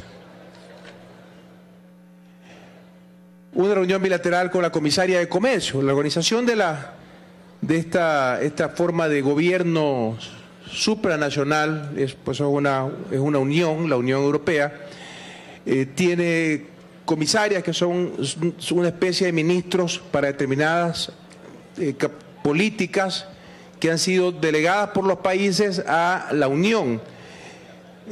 Cecilia Malmström, de la comisaria de Comercio de la Unión Europea, le he dicho que siempre que es amiga de Ecuador y la he invitado a conocer el Ecuador, no conoce todavía el Ecuador, pero el apoyo de ella y de todo su equipo de trabajo fue muy importante para alcanzar los plazos que nos han permitido firmar, inclusive antes de lo que esperábamos, el acuerdo comercial multipartes. Llegamos al evento en sí, el día viernes a la una de la tarde, hora de Bruselas, me parece que eran siete de la mañana, hora de Ecuador. Así que los dejo con un video sobre eh, que, que reporta la suscripción del convenio del acuerdo comercial con la Unión Europea. Adelante, por favor. El vicepresidente Jorge Glass, en representación del Ecuador, firmó el protocolo de adhesión al acuerdo comercial multipartes con la Unión Europea, que protege la producción nacional, estimula el aparato productivo y beneficia a la economía popular y solidaria. El segundo mandatario calificó a este mecanismo como un aporte significativo para el comercio justo. El acuerdo que hoy estamos firmando no es un hecho aislado es parte de una nueva plataforma productiva que hemos construido los últimos casi 10 años con visión de futuro, en donde creamos las condiciones habilitantes para potenciar nuestra industria nacional, para que sea más fuerte, más eficiente y que genere mayor valor agregado. Condiciones habilitantes que vienen dadas por la abundante energía eléctrica, que es renovable y barata, por carreteras, puertos, aeropuertos, logística, telecomunicaciones. Gracias a estas acciones, hoy somos una república de oportunidades, que es atractiva para las inversiones europeas. En los últimos años hemos recibido más de 1.500 millones de dólares en inversiones de miembros de esta comunidad y esperamos que a partir del presente acuerdo sea mucho más, inversiones que nos permitan producir más, producir mejor y producir cosas nuevas.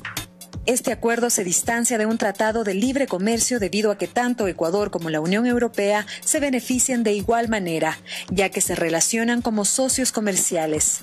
En el caso de los lácteos se excluye la importación de leche, mantequilla y quesos frescos, que representan el 80% de la producción y apenas un 0,18% serán importados desde Europa. El presidente del Consejo de la Unión Europea, Peter Siga, reconoció los logros alcanzados por Ecuador durante la adhesión de este acuerdo. Después de años de crecimiento económico sólido y una reducción impresionante de los índices de pobreza, recientemente Ecuador ha tenido algunas eh, dificultades económicas, por no mencionar el terrible terremoto que afectó al país en abril. Estoy convencido de que nuestro acuerdo ayudará a Ecuador a consolidar y seguir construyendo sobre sus logros y será un impulso considerable para el desarrollo de Ecuador. Entre las herramientas de defensa comercial que se establecen en el convenio se encuentran la salvaguardia agrícola y bilateral, franja de precios andina, eliminación de productos europeos subsidiados y protección a la industria ecuatoriana naciente. La comisaria de Comercio de la Unión Europea, Cecilia Malmström, resaltó los lazos de amistad entre Ecuador y Europa. Se trata de un auténtico hito a las relaciones comerciales con Ecuador. Es una decisión de hondo calado político y económico. Hay que reconocer que se trata de un paso adelante importante para Ecuador que exige mucho valor. Se trata del primer acuerdo de amplio alcance que firma Ecuador con un país desarrollado. Creo que es un fiel reflejo de la decisión de Ecuador de integrarse a la economía mundial. A diferencia de los tratados de libre comercio, el acuerdo entre Ecuador y la Unión Europea abre el camino hacia un intercambio comercial soberano y apunta a un crecimiento económico que beneficie a los sectores más vulnerables. La patria crece. Fue una negociación muy difícil, porque teníamos muy claro de que un acuerdo que no proteja, que no tenga consideraciones particulares, como, como por ejemplo ser una economía dolarizada. Una economía dolarizada cuando hay países vecinos que tienen el mismo acuerdo, que tienen unas devaluaciones muy agresivas, devalúan su moneda de manera muy agresiva. No, no criticamos, estamos diciendo los hechos y lograr proteger determinadas cadenas productivas, ya sea eh, por exclusión total o por desgrabación a siete años, diez años, quince años, el acuerdo es un documento bastante complejo, fue muy difícil. Por ejemplo, no permitir la entrada de motores usados, de vehículos usados, de los llamados autos fríos. Un auto frío es un auto nuevo, cero kilómetros, pero de, de año anterior o dos años anterior, que no lograron vender en algún mercado y pudieran haber tratado de venderlo en el Ecuador. Nada de eso permitimos, lo conseguimos, un equipo extraordinario. Debo recordar a Francisco Rivadeneira, el primer ministro de Comercio Exterior que tuvimos aquí en el Ecuador una vez que se creó el Ministerio de Comercio, eh, y a muchos actores, no quiero seguir a los nombres porque siempre me olvido de alguien y causo resentimientos. Veamos qué representa ahora esto para los emprendedores, para los exportadores ecuatorianos. El acuerdo comercial representa oportunidades para ellos. Veamos sus testimoniales.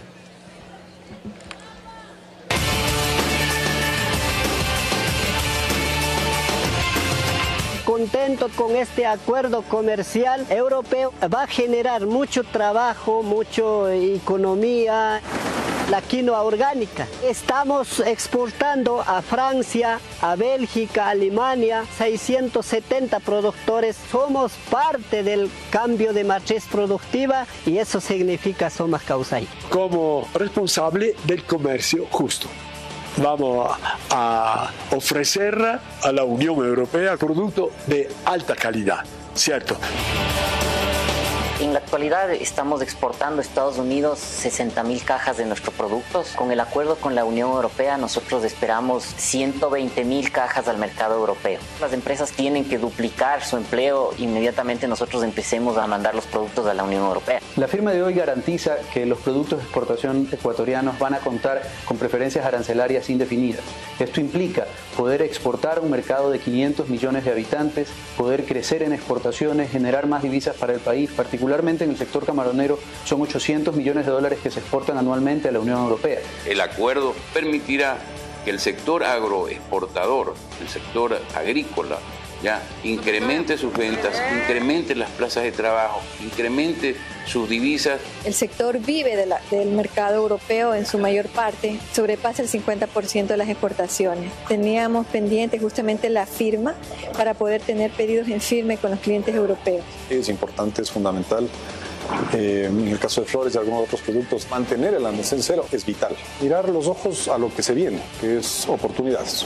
Un abanico grande de posibilidades de negocios, no solamente en el tema de importación. El otro tema es buscar alianzas con otras empresas europeas que podamos ser símiles y empezar a desarrollar o producir localmente bajo una compañía mixta. El acuerdo multipartes es la piedra angular en las relaciones con Ecuador. La decisión fue, por supuesto, económica, pero además política debido a lazos culturales históricos con Ecuador y otros países. Ecuador va a entrar en un proceso de elaboración de nuevos productos, principalmente productos manufacturados. El apoyo político que ha presentado el gobierno al acuerdo ha sido fundamental se va a ampliar con esto nuestra oferta exportable. Durante los tres primeros años de vigencia del acuerdo comercial aproximadamente se incrementarían nuestras exportaciones en un monto de 500 millones de dólares.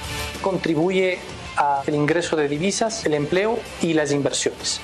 Significa entonces muchas posibilidades para Ecuador, millones y millones de personas. Le vamos a ofrecer nuestro producto.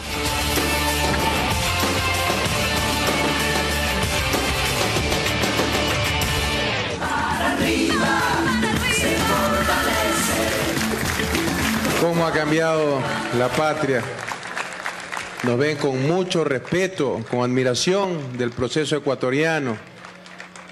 Las oportunidades que esto representa, un acuerdo negociado con soberanía, pensando en los pequeños productores por sobre todo,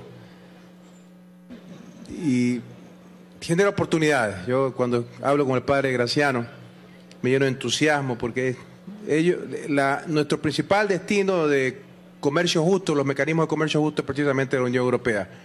Para un poquito más de detalle, le doy la palabra a nuestro ministro de Comercio, al abogado Juan Carlos Casinelli. Juan Carlos, un gran paso. Ahora, trabajo de todos es potencializar esto. Mire, esto es una herramienta, esto es muy importante. Quiero que tengamos conciencia. Nuestra visión de desarrollo ha constituido en gran parte también construir una plataforma potente para producir más, producir mejor y producir cosas nuevas. Entonces ya algunos, comienzan a ver al cielo, dice, comenzó el vicepresidente a hablar en, hablar en chino. No, no, no estoy hablando en chino. El tema es sencillo. Si usted quiere inversión, necesita energía. Y ahí está Coca-Cola Sinclair y todavía las otras hidroeléctricas. Necesita carreteras de calidad puertos, aeropuertos, logística, ahí está la nueva inversión en Pozoras, la nueva inversión en Puerto Bolívar, el puerto de Guayaquil, el puerto de Manta en proceso de alianza público-privada. Necesita conectividad en telecomunicaciones, ya tenemos. Necesita estabilidad política, ya tenemos desde hace 10 años, a Dios gracias, estabilidad política. Y la decisión de transformar la matriz productiva. Sí, pero, ¿qué es el acuerdo comercial dentro de esas herramientas?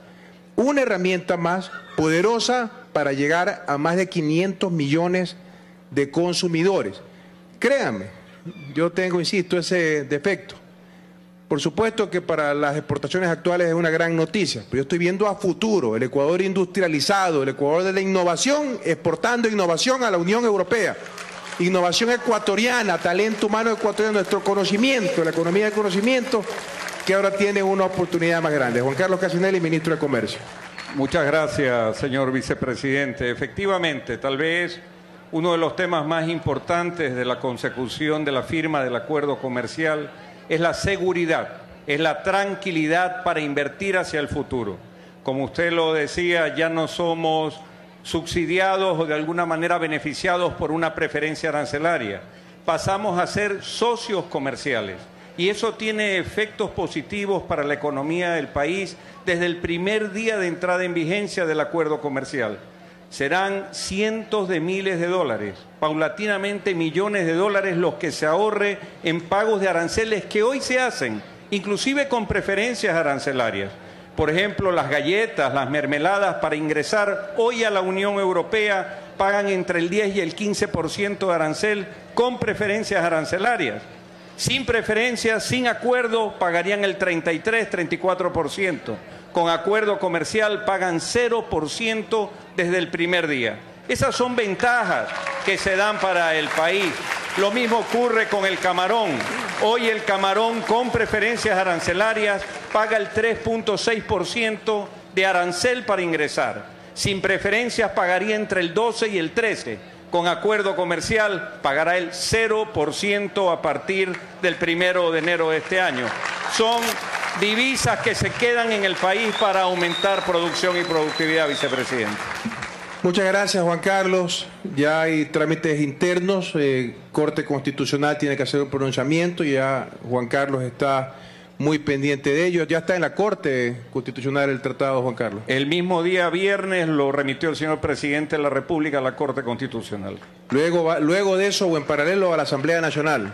Apenas haya el dictamen de la Corte que se espera en los próximos 15, 20 días eh, tendrá que remitirse por parte del señor presidente a la Asamblea Nacional para su ratificación. ¿Cuándo tienes el taller con los asambleístas? El día martes, eh, vicepresidente. El día martes, muy bien, a estar muy pendientes de que los plazos corran. Muchas gracias, Juan Carlos, y con mucha fuerza y, terminar los trámites. Tiene que esto también pasar por el Parlamento Europeo, pero ya planificar el futuro, compañeros. Esto es un tema muy importante. Las preferencias arancelarias son unilaterales. Es decir, yo porque eres nación menos favorecida, entiéndase, subdesarrollada, te doy estas preferencias. Primero el Ecuador ya es un país de renta media, el Ecuador ya cambió. Gracias a la revolución tenemos casi dos millones de personas que han salido de la pobreza. Esa es la revolución de la gente. Pero ahora ya somos socios socios comerciales, entonces ya puedo planificar mi inversión a largo plazo, aumentar capacidad productiva del banano, del camarón, porque no, yo cuando hablo de cambio de materia productiva no estoy diciendo que vamos a dejar de exportar banano, camarón o atún, todo lo contrario, vamos a exportar más. Recuerden ustedes que ya les hablé en, un enlace anterior sobre el plan de reactivación del cacao. Exportamos 900 millones de dólares ahora en cacao entre cacao fino de aroma y cacao CCN 51, de esos 900 millones, menos del 10% son productos semi elaborados, entiéndase pasta o licor de cacao, y casi nada de chocolate. Con la nueva cepa, la nueva variante genética, el aroma pichilingue, eh, o el otro, ¿cómo se llama? Aroma pichilingue o... ¿Dónde está Adolfo? ¿Me recuerdan? Aroma pichilingue fino pichilingue son dos variantes de cacao fino de aroma, producto de investigación ecuatoriana en el INIAP, que ya los liberamos, que tienen el doble de productividad sin riego. Es decir, podemos producir el doble, recuerden esto de cambio de materia productiva, producir más, más por hectárea, producir mejor calidad cacao fino de aroma y producir cosas nuevas, industrialización.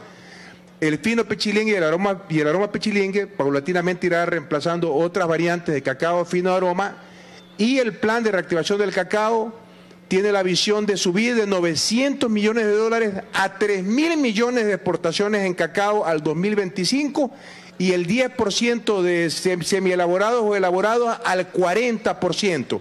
Esa es visión de desarrollo y ahora con el acuerdo comercial sabemos que tenemos ese mercado y vamos para hacer el mejor chocolate, tenemos el mejor cacao para hacer el mejor chocolate. Nos va a tomar tiempo, esto es al 2025, pero esa es nuestra visión. Algunos hablan que el empleo para arriba, que el empleo para abajo, que el empleo no hay. Eh, nadie les dice cómo van a generar empleo. Nosotros tenemos un plan que funciona, porque lo hemos venido haciendo y lo haremos con mucho más fuerza con esta plataforma productiva que hemos creado entre todos. Hidroeléctricas, puertos, aeropuertos, logística, conectividad y lo más importante, el talento humano. Ecuatorianos orgullosos que nos sentimos capaces con un proceso de fortalecimiento del talento humano en escuelas, colegios y universidades. Muchas gracias Juan Carlos y adelante con tu equipo de trabajo.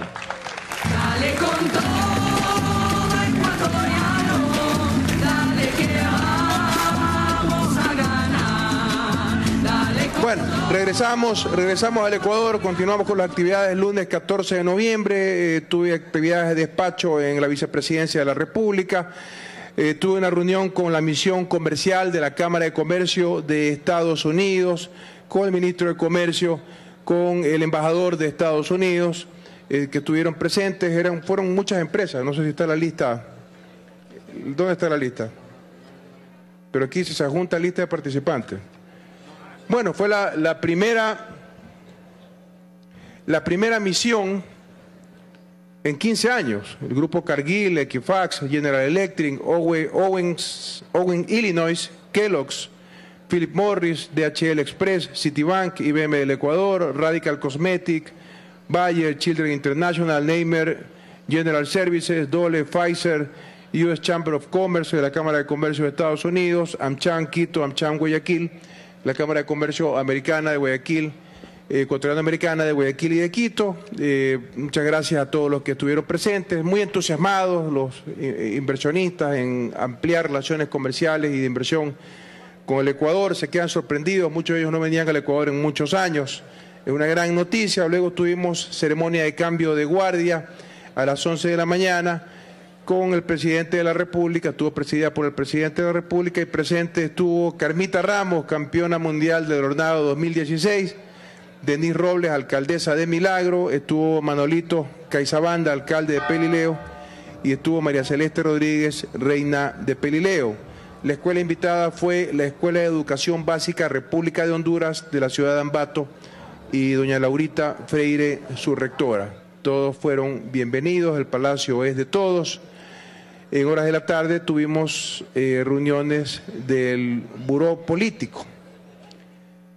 El día martes 15 de noviembre, le quiero pedir disculpas, eh, no pude asistir al homenaje a los trabajadores caídos el 15 de noviembre de 1922. Una ceremonia estaba invitada en Guayaquil, ya había confirmado mi presencia, creo que tenemos imágenes de apoyo debido a que cambiamos totalmente la agenda. Desde el día lunes tuvimos que hacer un alto en nuestras actividades como gobierno para concentrarnos en elegir la lista de compañeros que iban a ser candidatos a la Asamblea Nacional Legislativa y fue un trabajo bastante arduo. Es por eso que tenemos ahora sábado y domingo de trabajo permanente para poder recuperar ese tiempo que le dedicamos a esta actividad que era indispensable. Tenemos imágenes, eh, les pido disculpas al ministro del Trabajo, yo había confirmado mi visita, eh, fue el lanzamiento de la preseda del mérito laboral Miguel Márquez Vázquez. Eh, se la dieron al doctor Miguel a ver, el doctor Miguel Márquez Vázquez nació en Ecuador el 23 de marzo del 34 en la ciudad de Cuenca y fue durante toda su vida un impulsor de los derechos y la organización de los trabajadores. La entrega del presea al mérito laboral, homenaje, homenaje a Fausto Cayambe, nuestro querido compañero asambleísta que nos dejó, tuvo un problema en el corazón, desde el infinito sigue, sigue siendo parte de esta revolución ciudadana y su legado es parte esencial de la revolución ciudadana. Y otros invitados especiales, entre ellos el entonces gobernador del Guaya, Julio César Quiñones. No lo he visto Julio César, no ha venido al enlace. Se hizo loco, ya dejó de ser gobernador y ya no, ya no viene el enlace ciudadano. Todavía que llegaba tarde. ¿eh? Pero bueno, Estuvo presente en ese evento Juan Cristóbal Lloret, gobernador de la Suárez, que tampoco ya es gobernador, caramba. Mariano Zambrano, prefecto de Manaví, Paola Pavón, secretaria de la Política, Osvaldo Chica, presidente de la CUT, Lili Durán, vicepresidente de la CUT, Recha Gómez, dirigente de la CUT, y demás sindicatos y organizaciones laborales. Disculpas a todos. La Orquesta Sinfónica Eloy Alfaro, que tiene niños que fueron erradicados del trabajo en las calles, nos llena de mucha emoción a todos. Eh, hicimos una pausa para ver el partido de fútbol entre Ecuador y Venezuela, Ecuador 3, Venezuela 0. Un abrazo para los venezolanos, pero aquí ganábamos o ganábamos.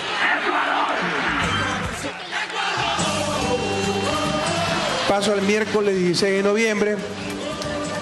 Tuve una reunión con una delegación de un consorcio de empresas chinas, eh, Sinopec, LPEC y Sinomac, eh, dos empresas que tienen interés en desarrollar proyectos estratégicos en el Ecuador, particularmente la refinería del Pacífico. Una reunión con el presidente de la República sobre avances de la refinería del Pacífico, el proyecto más importante de todos los ecuatorianos. Y en horas de la tarde me reuní con empresas chinas que venían en la delegación con el presidente Xi Jinping de la República Popular de China, con el presidente de la República Popular de China, entre ellas Sinohidro, eh, Coca-Cola Sinclair. Y en horas de la tarde eh, me retiré de la oficina, me trasladé a la sede de Alianza País para una hermosa caminata que culminó con la inscripción del binomio Lenín Moreno Garcés, Jorge Glass Espinel. Binomio Alianza País. No digo más porque después dicen que hago campaña, pero fue parte de mi agenda. Jueves 17 de noviembre, por redes sociales, ya no lo hago con tanta frecuencia, pero por redes sociales me invitan ciudadanos a desayunar en su casa y yo no sé quién ha dicho que soy comelón, y la verdad es que me dan de comer cantidades extraordinarias de comida, y particularmente David Mesa es un joven, creo que tiene 31 años. David es abogado, es ingeniero financiero, tenía algún posgrado, tiene un ah, cangrejo. No he roto el récord de 23 cangrejos todavía. Todavía me falta. Pero bueno, estuve en la casa de David, en Solanda, en Quito, un populoso barrio. Llegué un poco tarde porque hubo algún accidente de tránsito en la Simón Bolívar. Pero David es un gran emprendedor. Tiene una, pequeña empresa donde vende almuerzos a instituciones públicas. En, hace un año lo hacía a escuelas del milenio. Eh, eh, parte de su equipo de trabajo desarrolla nuevos productos como nuevos tipos de ají, nuevos tipos de mermelada que ya están vendiéndose en algunas cadenas de supermercados. Tuve una conversación maravillosa con este joven. Hablamos de política, hablamos de economía, hablamos de estrategias hidrocarburíferas. Yo estaba, estaba casi levitando, escuchar a un joven emprendedor, profesional, eh, microempresario y que tiene una visión clarísima de futuro del Ecuador totalmente convencido de la revolución ciudadana y ahí uno dice, bueno, caramba, los relevos están, están casi listos, los relevos para que tomen la bandera para una revolución que tiene que durar por siempre, porque esta es la revolución que va a erradicar la pobreza, que nos va a llevar a la economía del conocimiento. Hay que estar muy atentos a los cantos de sirena, al retroceso presentado como cambio, con la fatua promesa de la riqueza infinita. Eso es el neoliberalismo.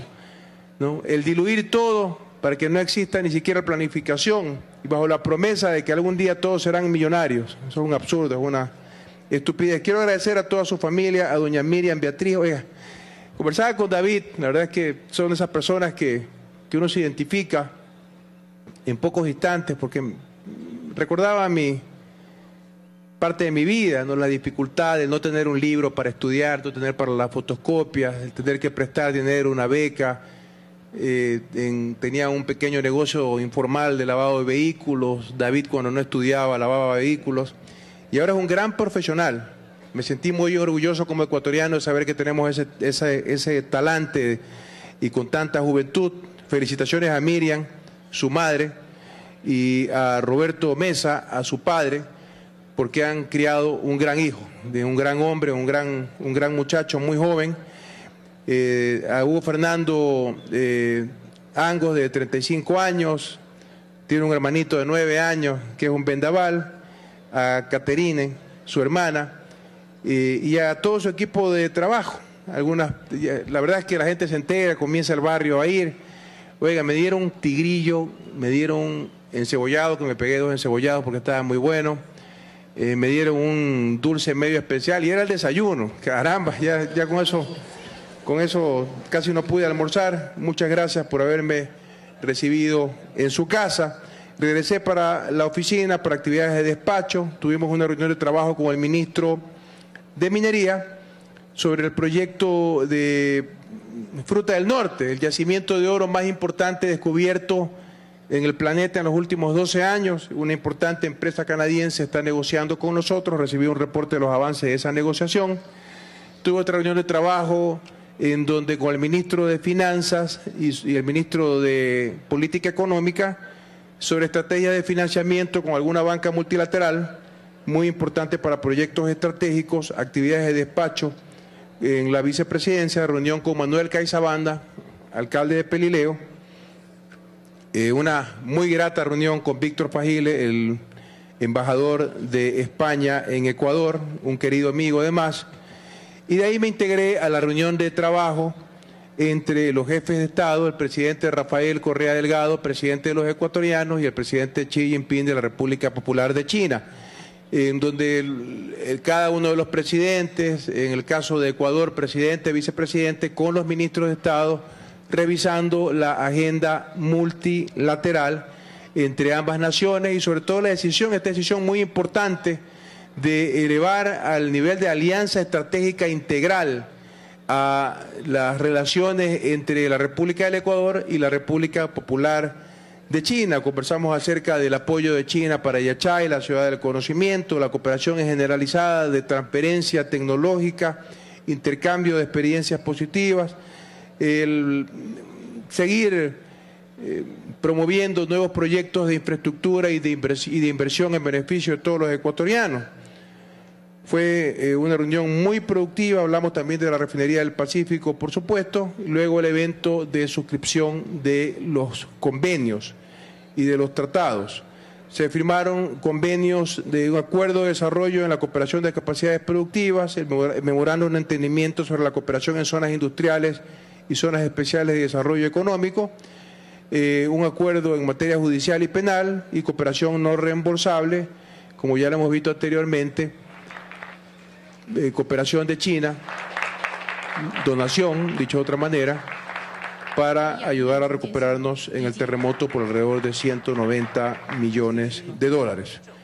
Vinieron las declaraciones de los jefes de Estado a la prensa y luego una cena en honor del presidente Xi Jinping, su esposa y toda su digna comitiva en el Palacio de Cristal del Ichimbía.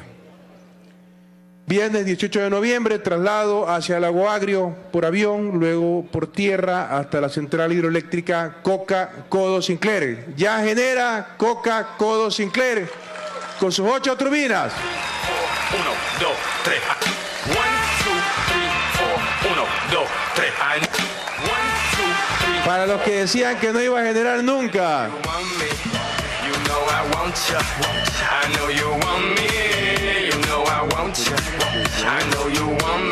estamos exportando energía a Colombia.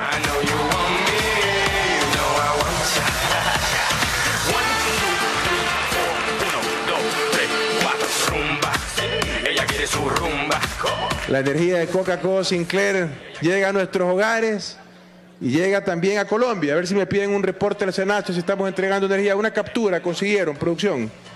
Consiguieron una captura de ¿Cuánto, de, cuánto es esto? A ver. ¿De cuánto es esto? Anoche. A ver, miren, este gráfico, lo, lo ponen en pantalla, por favor. Este gráfico es una captura del Operador Nacional de Electricidad, CENACE, el Centro de Despacho de Energía.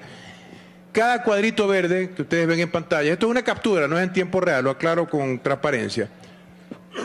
Ayer, cuando arrancamos la hidroeléctrica, no estábamos en potencia máxima, porque no había demanda. O sea, cuando uno genera la potencia de una hidroeléctrica, los técnicos lo comprenderán muy bien, tiene que ser consumida, pues no puede, la energía no se va en el aire, tiene que ser consumida y en la mañana no es, no es tiempo de demanda máxima, la demanda máxima es en las primeras horas de la noche, 7 de la noche, siete y media de la noche. Cada cuadrito de estos es las, son las ocho turbinas. Ustedes ven abajo que dice uno, ¿puedo dibujar aquí? No, no. Ah, lo borré. Regresen, por favor, pongan la captura. A ver, Vean ustedes, los que me siguen en televisión, esta es la turbina 1, a la izquierda, dice U1, U2, unidad 3, unidad 4, unidad 5, unidad 6, unidad 7, unidad 8. Las turbinas fueron diseñadas para 187 puntos megavatios cada una, es decir, es una turbina, Manduriaco tiene 80 megavatios, una turbina es más grande que la mayoría de las hidroeléctricas en el Ecuador. Pero miren esta hidroeléctrica, fíjense ustedes en la turbina 8, esta dio 189.1 megavatios, es decir, más del 100%. Y esto sucedió con la turbina 4, 188, no, la U6, 187.9. En total, en total, ¿a qué hora es esto? Es el día de ayer, ¿no? La noche de ayer. En total se generó ya en la noche 1.492.4 megavatios y a Colombia se enviaron 256.8 megavatios, ya casi llegando a los 1.500. No se llega a los 1.500 porque no demanda el sistema. Y además se siguen haciendo ajustes como es normal y eso tomará algunos meses. Pero algunos decían que no íbamos a generar 1.500 megavatios y que nunca íbamos a exportar. De esos amargados que se entristecen cuando el Ecuador le va bien, pero nosotros estamos alegres. Coca-Cola ya opera al 100%.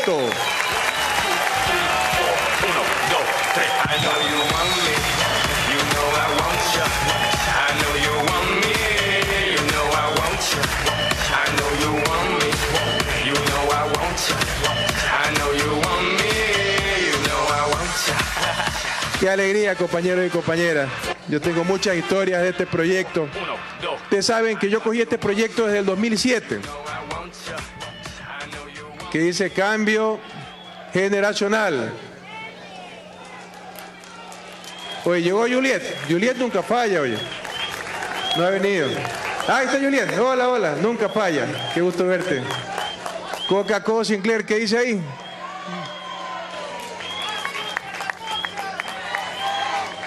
Muy bien. Coca-Cola ahorra. Mire, ya Coca-Cola ha ahorrado 300 millones de dólares en su fase de prueba y va a ahorrar 600 millones de dólares por año. Y aparte de eso, energía para el desarrollo, para la nueva industria, para producir más, para producir mejor, para producir cosas nuevas. Y aquí en el Ecuador vamos a producir más contaminando menos, porque más del 90% de la energía el próximo año vendrá del agua. Cero contaminación, la obra más grande de toda la historia del Ecuador, Coca Codo Sinclair en operación. Más de mil razones, más de mil motivos tenemos para hacerte grande, mi Ecuador querido. ¿Cuántas veces nos dijeron que no podíamos? Mire, les confieso algo. 2007 el presidente me encargó recuperar el sector eléctrico y el sector de telecomunicaciones en el Fondo de Solidaridad, que ya la gente ni se acuerda qué era, era el accionista de las empresas eléctricas y telefónicas. Bueno, aquí están los compañeros, está Richard. Jorge Jaramillo no lo había visto, Jorge Jaramillo, gerente general de la Corporación Nacional de Electricidad. La CENEL unió las 10 peores empresas eléctricas del Ecuador. Hoy factura cuánto más? 600 cuánto? Un micrófono para Jorge, por favor. 750 millones adicionales desde el 2007. Por año. Ah, por año. 750 millones de dólares adicionales por año con la fusión de las 10 peores empresas del pasado. Ahora no hay peor empresa. Sector eléctrico, la reducción de las pérdidas de energía eran las más altas de la región, 23%. Ahora estamos alrededor de 12, consolidado nacional eficiencia con los mismos trabajadores, esos trabajadores eléctricos que ante la partidocracia decían que eran los culpables de la desgracia de las empresas. No, los culpables de las desgracias de las empresas eran la partidocracia, eran los que manejaban el país, se rifaban las aduanas, los de las barcazas, los que nos tenían sin energía, sin salud, sin educación, sin libros para los chicos en las escuelas. Son ellos, no nosotros. Y ahora Jorge era de mi equipo de trabajo en el Fondo de Solidaridad desde el inicio, ahora es gerente de la Corporación Nacional de Electricidad. Solamente esa unidad, esa empresa, que no, no es todo el país, factura 750 millones de dólares más que generan mayor inversión y desarrollo en el Ecuador. Recuerdo yo en el 2007 cuando yo pedí los estudios. ¿Quién se acuerda? Está Medardo por aquí. Medardo, ¿de cuánto era la potencia de los estudios originales, que además eran una- un estudio muy básico de Coca-Cola Sinclair? Vicepresidente, buenos días, buenos días Durán, país entero. Medardo Cadena, nuestro nuevo ministro de Electricidad y Energías Renovables. Felicitaciones, Medardo. Gracias, gracias vicepresidente. Esteban Albornoz renunció también para enfrentar nuevos desafíos en las próximas elecciones. Vicepresidente, el proyecto Coca-Cola Sinclair que se había estudiado en la época de Inesel consideraba dos etapas que sumaban 859 megavatios.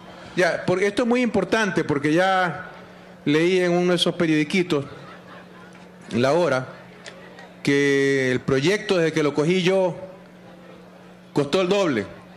Pero son dos proyectos distintos, pues compañeros, por Dios, que no le, es que no le da. ¿Por qué no pueden leer? Repite, el primer proyecto era para cuánto? 859 megavatios. Ya, y el proyecto que tenemos ahora es de 1500 megavatios. ¿Son iguales o son diferentes? Son dos proyectos, compañeros. No me pego la cabeza porque se me daña el sombrero manaba. ¿Ah? ¿Qué tal me queda? El sombrero bien, dice el macho. Algo tenía que decir. Está bien, yo sé que soy feo. Dígale, dígale a mi mamá. Aquí están las dos normitas. La mamá del presi, la mamá del vice. Dile pues a mi mamá que soy feo para que veas qué te hace. Guapo el hijo, guapo. ¿Ah? Mi mamá dice que soy bonito.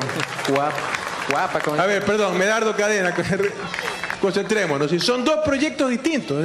Cuando llegamos al Fondo de Solidaridad, yo tenía una visión muy clara de que había que terminar Mazar, porque Mazar, se, perdón, este, se quedaba sin agua Paute, porque no, no estaba la represa aguas arriba que garantizaba el agua para Mazar, y terminamos Mazar en el año 2010, me parece. Yo tenía una visión energética muy clara.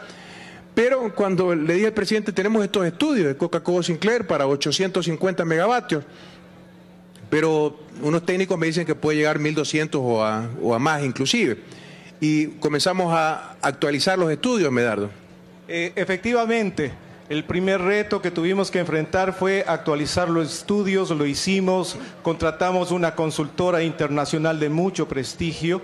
Y esos Fueron los estudios italianos, ¿no? Fueron Electroconsult. sí. Electroconsult. así es, eh, vicepresidente. Y esos estudios los tuvimos listos hacia el año 2009, inicios 2010.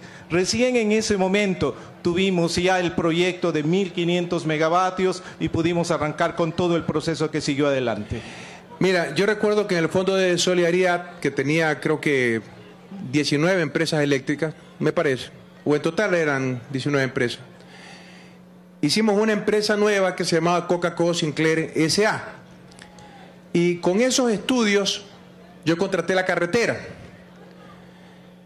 que además era ruta crítica. ¿Qué es ruta crítica para los ciudadanos y las ciudadanas en términos sencillos? Es cualquier parte de la obra que impacta en su tiempo de construcción. Y como era, no había nada de selva, en medio de la selva, sin camino, sin carretera, sin vía de acceso, no había obra. Había que hacer primero el carretero y eso puede demorar año y medio, dos años.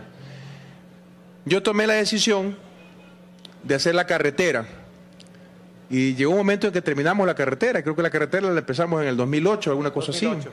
Comenzamos a hacer la carretera y la carretera terminaba en la selva.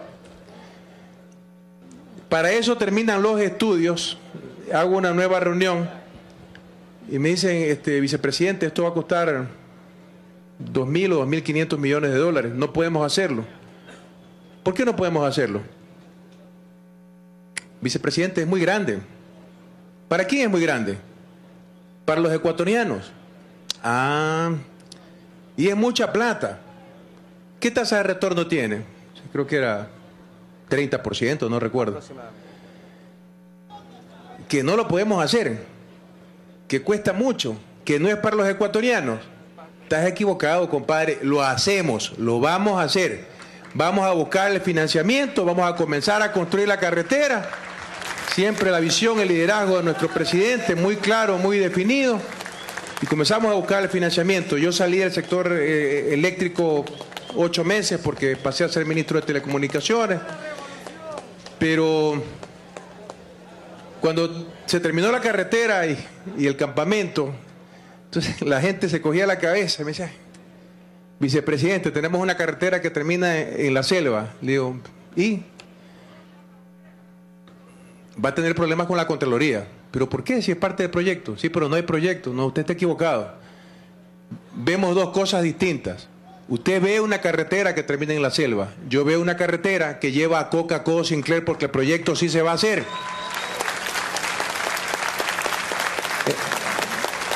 Y el día de ayer que yo estaba en la inauguración, los presidentes estaban en Quito y activaron por telecomando la hidroeléctrica. Créanme que sentí una emoción infinita porque es la prueba quizás más radical de que los ecuatorianos somos capaces de hacer cosas grandes.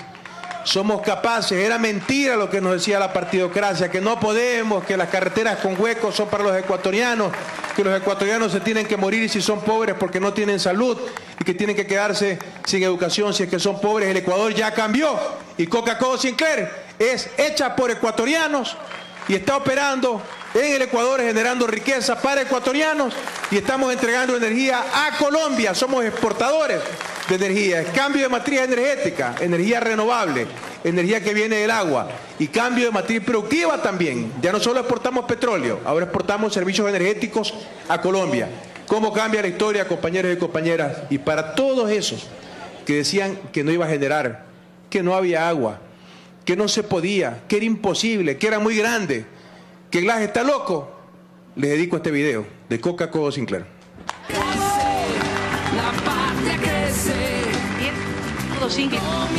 vicepresidente del Ecuador, Jorge Glass Espinel.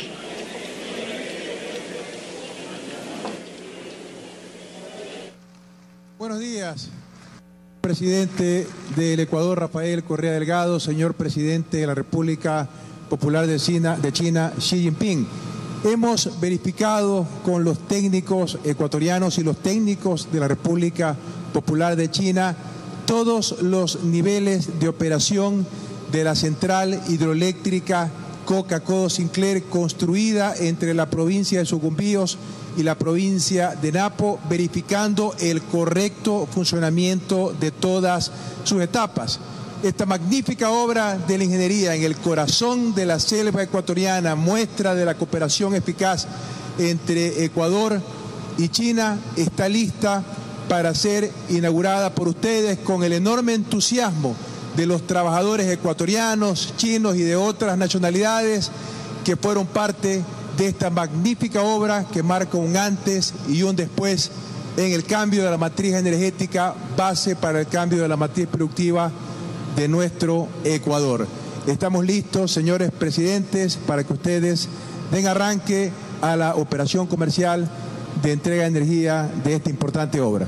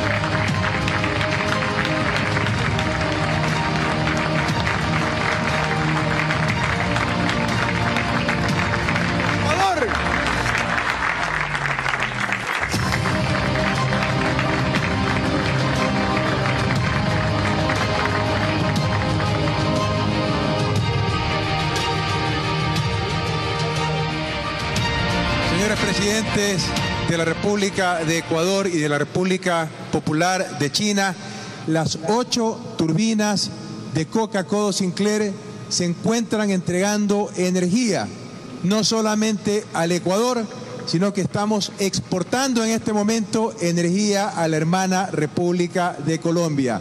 El Ecuador exportador de energía renovable, energía que no contamina, energía para el desarrollo. Ustedes pueden constatar, constatar, señores presidentes y ciudadanos en general, que todas las turbinas en sus pantallas se encuentran en operación.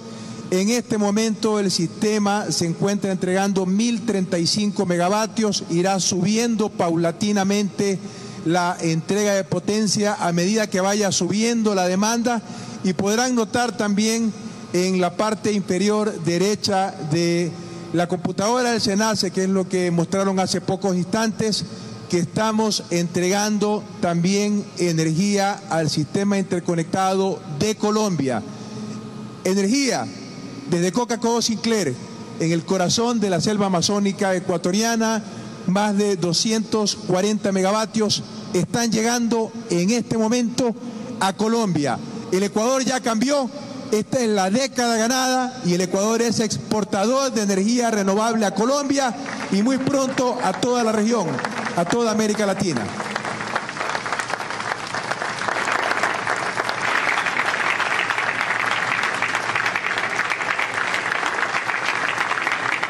Lo hicimos, señores presidentes, misión cumplida por parte de los trabajadores.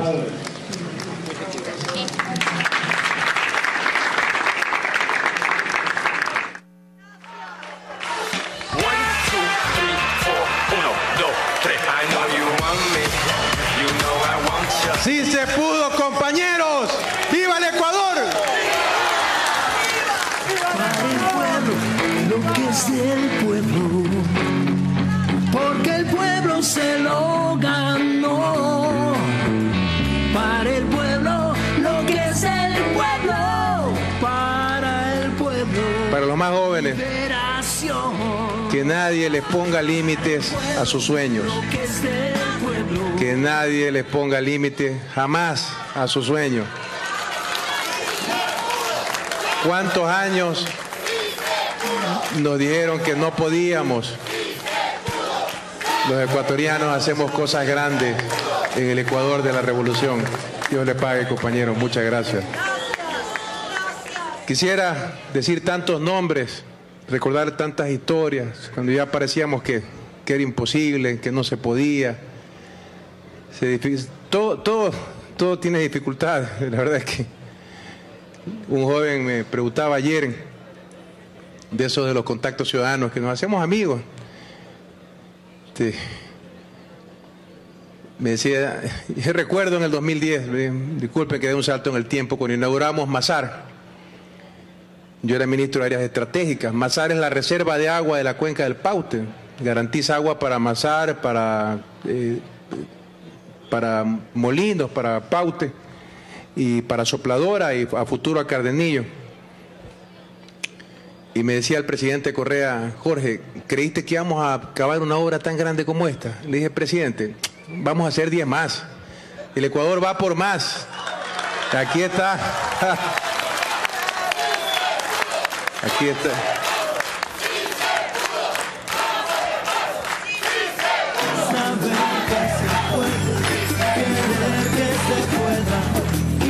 Recordemos, compañeros, en un video lo que es esta obra, Coca-Cola Sinclair. Adelante. Coca-Cola Sinclair, la hidroeléctrica más grande y emblemática que ha construido el gobierno ecuatoriano, hoy ya entrega energía. En el 2011 lo anunció el presidente Rafael Correa.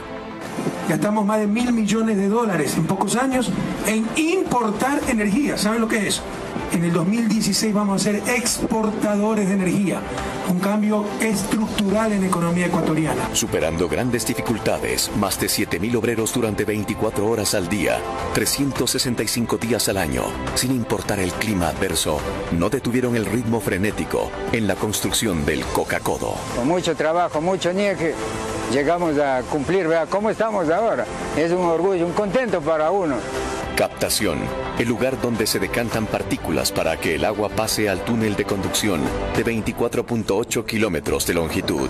Inicia un recorrido que se convertirá en electricidad.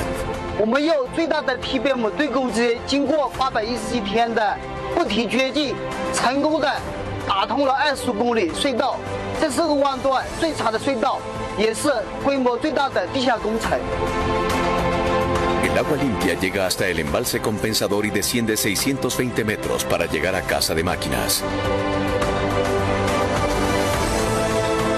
La casa de máquinas de 47 metros de alto, 26 metros de ancho y 212 metros de profundidad aloja ocho turbinas que entregan una potencia de 187.5 megavatios cada una, con un total de 1.500 megavatios al país.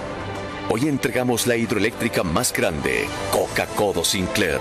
Beneficia a todos los ecuatorianos, porque Coca-Codo Sinclair es desarrollo, es progreso, es el Ecuador del futuro. Gracias por cumplir con los ecuatorianos y con los técnicos chinos.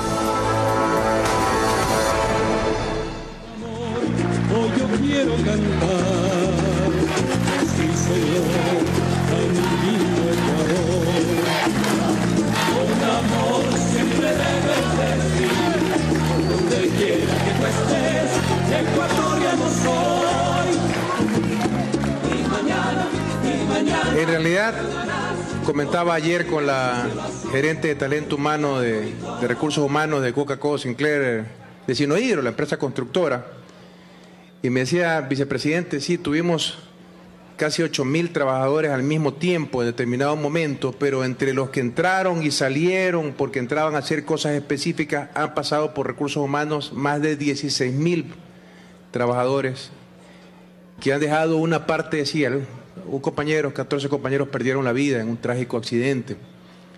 Sus familias nunca estarán solas. Y desde el infinito, ellos están viendo también la operación de Coca-Cola Sinclair.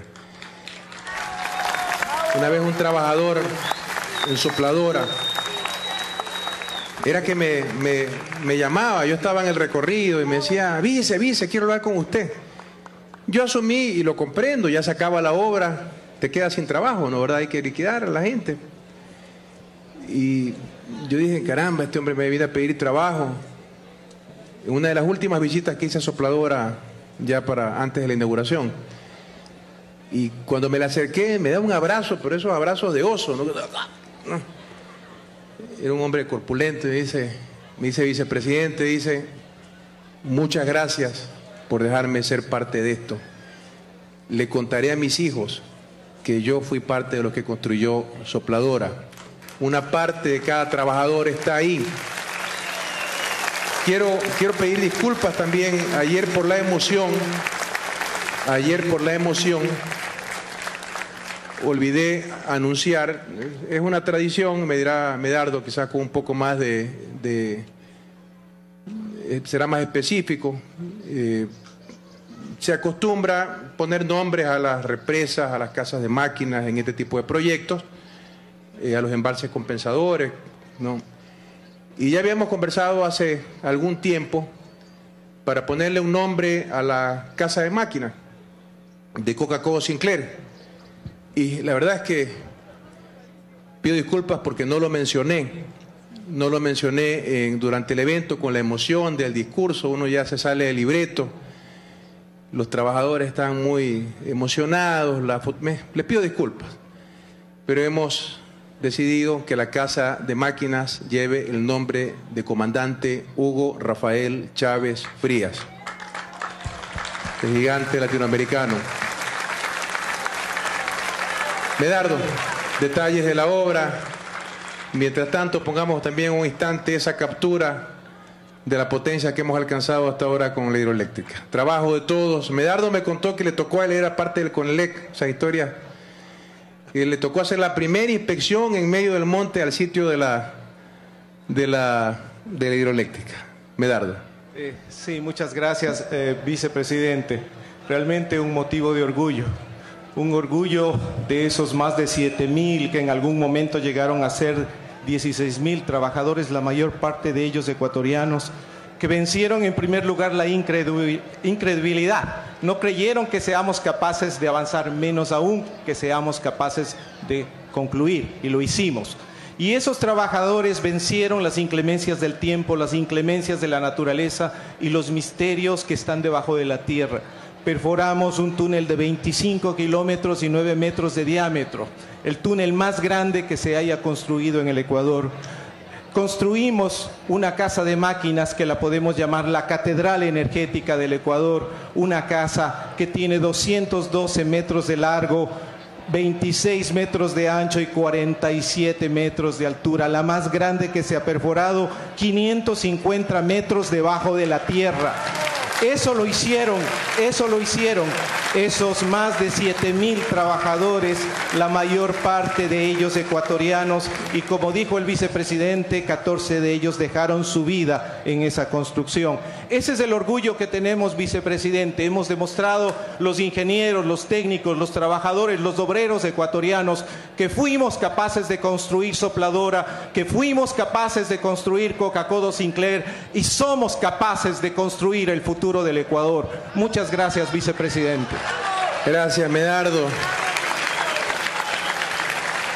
Caramba, no puedo dejar de mencionar a Esteban Albornoz, hasta hace pocos días ministro de Electricidad. Él, dejó de ser ministro para enfrentar otros desafíos, desafíos electorales. Pero, caramba, este, recuerdo a Ítalo Centanaro, que fue gerente de Coca-Cola Sinclair. Puedo mencionar, no sé, Derlis Palacios, Luis Cabrera, eh, Michael Mera, en fin, que fueron parte, que fueron parte en algún momento del proyecto. No sigo porque voy a excluir a alguien y me daría mucha pena. Quiero dar una bienvenida a la compañera Lexi Lor, también que nos ha dejado en la vicepresidencia, y a Sofía Espín, que han salido también de la vicepresidencia. Para lo mismo,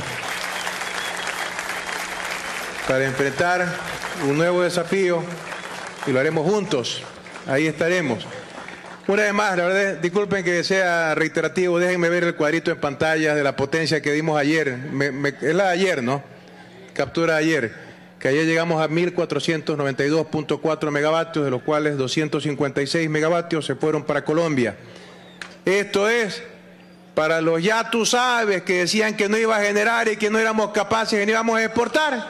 Se las dejo de regalito. Suban en las redes sociales. Pregunta para todos, pregunta para todos. ¿Nos quedamos hasta aquí nomás o vamos por más?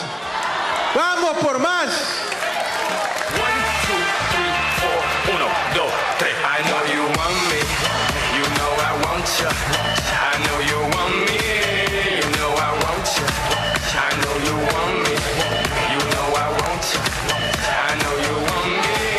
Muchas gracias a mis invitados especiales. Mis invitados especiales son los chicos de la generación del conocimiento, profesionales que están en las empresas públicas. Atención, por ahí ya me han dado algunos datos a los gerentes de la empresa pública de agua, a los gerentes de SELEC, de CNT, de Petroamazonas, Petroecuador, que en algún caso querían terminar el contrato de algunos de los chicos que fueron capacitados en el exterior de la generación del conocimiento, ni se atrevan. Son la nueva generación de profesionales, a veces enfrentan hasta los, los celos internos, pero esos chicos son, han sido altamente capacitados y son protagonistas ahora del desarrollo de su país. Invitados especiales estuvieron los chicos de Go Raime, ¿se acuerdan ustedes de los chicos de Riobamba? Cada vez los veo más grandes porque la niña era de 14, el hermano de 16 años, jóvenes emprendedores innovadores que estuvieron ahí, Ernesto Lombeida y Roberta Aguilar del simulador de vuelo, Sheila Rivera y el- su producto eh, Why for Home, eh, a Patricio Sotomayor, en fin, invitados especiales de los contactos ciudadanos, los estudiantes universitarios que siempre estuvieron, están en los, en los recorridos del vicepresidente. Para los más jóvenes, atención, atención, son lindas noticias las que hemos visto, pero tenemos que recordar cómo era el sector eléctrico del pasado. Los dejo sobre todo para los más jóvenes. No siempre fue así. No siempre el Ecuador tuvo las mejores carreteras, no siempre tuvo un buen servicio público, no siempre había electricidad en el Ecuador y peor en provincias como las Amazónicas o Manabí, donde se iba la energía a cada rato. Adelante con un video de lo que era el sector eléctrico antes de la Revolución Ciudadana. En- entre, otras, entre otras cosas, obra de la partidocracia. Adelante el video. Pauta en manos de Dios. Ese era el titular que reflejaba de manera exacta la crisis energética que vivía el país.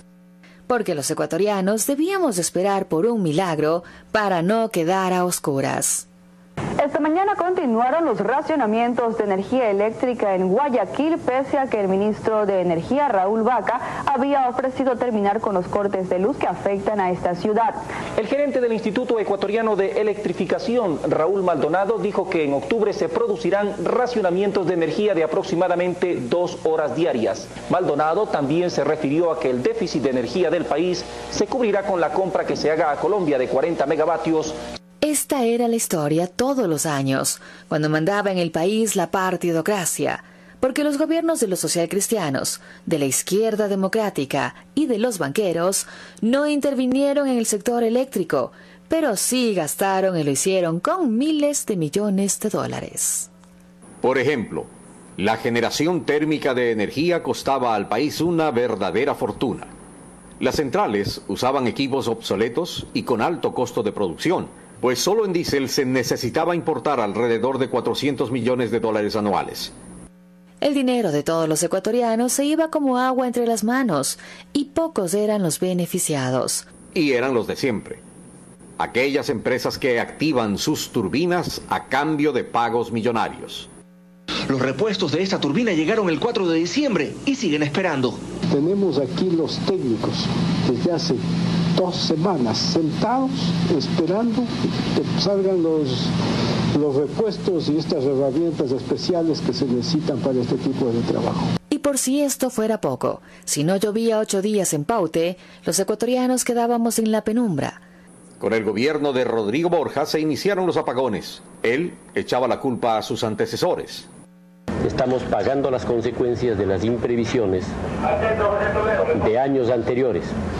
Por más de 18 años, los racionamientos eléctricos fueron constantes, llegando incluso a soportar 200 días de apagones en un solo año a mediados de la década de los 90. A todos estos problemas, la única salida que encontró la partidocracia es querer vender las eléctricas a precio de baratijas. Intentaron dejar al Ecuador sin un sector estratégico para su desarrollo. Ecuador estuvo a la cola de Sudamérica en generación eléctrica, según la firma internacional Lehman Brothers en 1997. Y los hogares debían aguantar constantes aumentos en las tarifas por un pésimo servicio, un verdadero shock eléctrico a las finanzas de los ecuatorianos.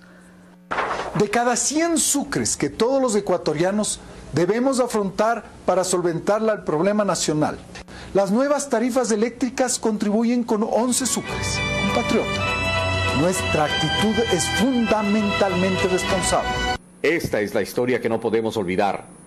Todo un país rezando porque llueva en Paute, destinando miles de millones de dólares para poner a funcionar las centrales térmicas y comprando luz a nuestros vecinos de Colombia y Perú para no quedar en la penumbra. La revolución ciudadana cambió esa historia. Hoy tenemos abundante energía limpia gracias a las tres centrales hidroeléctricas que están funcionando y construimos cinco más. Tenemos las tarifas eléctricas más bajas de la región y hasta exportamos energía a nuestros vecinos. Con la partidocracia, si no llovía en Paute, todo el país a obscuras. Con la revolución ciudadana, si no llueve en Paute, no pasa nada. En agosto del 2015 todas las turbinas de esta central dejaron de operar y nadie se enteró porque la energía eléctrica llegó a los ecuatorianos gracias a las hidroeléctricas que nunca fueron construidas en el pasado. Este es el nuevo país, el país de la energía limpia, el país de las oportunidades, el país del desarrollo. Prohibido olvidar. Ese pasado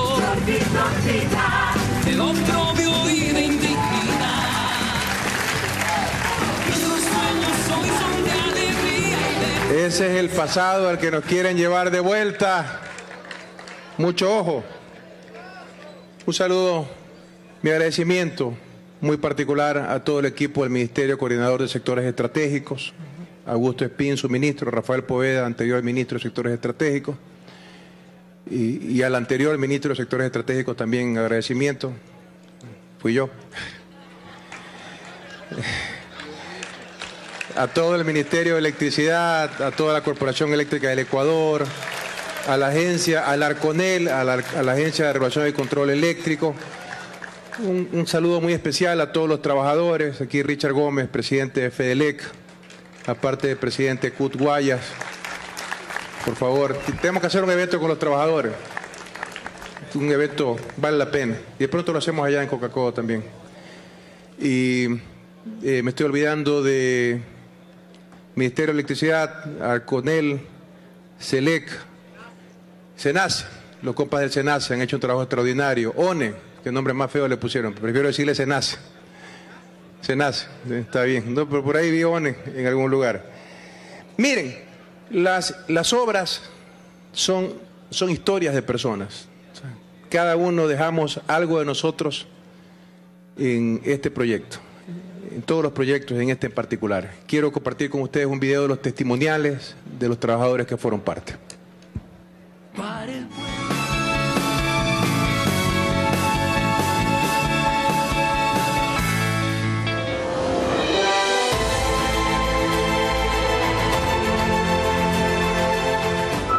En el piso de turbinas de la central Coca-Cola Sinclair. Yo soy el ingeniero John García y me desempeño como asistente técnico en el área de mantenimiento mecánico. He trabajado ya cerca de dos años en Select. Lo más difícil que ha sido pues, es dejar a la familia de lado, pero siempre detrás de esos esfuerzos hay una pasión. Entonces es como ir armando una torre de legos en los que van ensamblando piezas, piezas, piezas y finalmente tú logras ver el resultado de eso y es maravilloso.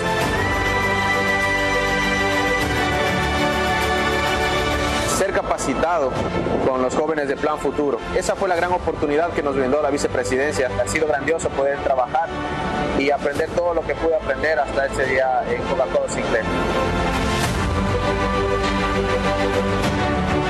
y ellos se dieron cuenta que yo tenía habilidad en el pulso. En ese momento yo me emprendí y me puse a estudiar. Trabajaba, llegaba de tarde y estudiaba. Ahora tengo mi título de operador de grúas. Ha transformado mi vida entera porque me han dado alas para poder seguir superándome. Porque para mí es una profesión que, que amo. Como mujer he logrado meterme en este ámbito de trabajo de hombres y me siento muy orgullosa de pertenecer a esta historia. El gobierno con este proyecto ha generado mucho apoyo a las comunidades. Yo trabajo aquí cuatro años. Nunca me imaginaba que este proyecto se iba a concluir. Es algo monumental. Hay mucho trabajo, mucha fuente de trabajo que va a estar aquí estable. A mí me ha traído bienestar a mi, familia, buenas carreteras, centros médicos, la escuela Millennium. Sí, esta obra es para todos los ecuatorianos, que nos va a servir eh, para mucho tiempo. Yo estoy contenta, es un proyecto muy amplio, muy hermoso, que ha dado trabajo a muchas personas y gracias a esas fuentes de trabajo yo he podido poner aquí mi negocio, el cual sí me ha beneficiado muchísimo para mí y mi familia. La idea que se me viene cuando me dicen Coca-Cola, las máquinas, ¿no? las máquinas toneladoras. Todos los pasos han sido un reto. La máquina estando ya parados en el otro lado, se ve cómo rompe la roca y asoma su- su- sus discos cortadores, ¿no? Es una emoción grande, ¿no? Es una, una, lucha que uno tiene con la naturaleza, con una alegría, ¿no? De haber terminado sin, sin mayores inconvenientes. Es una oportunidad de haber participado en las obras más grandes del país, grandes decisiones, ¿no? Ser soberanos y ser, tener eh, como principal fuente a lo mejor de ingresos la industria. ¿Por qué? Porque así tiene energía, ¿no? Coca-Cola Sinclair puede decirse que para mí personalmente es una, una cúspide a la que he llegado como profesional.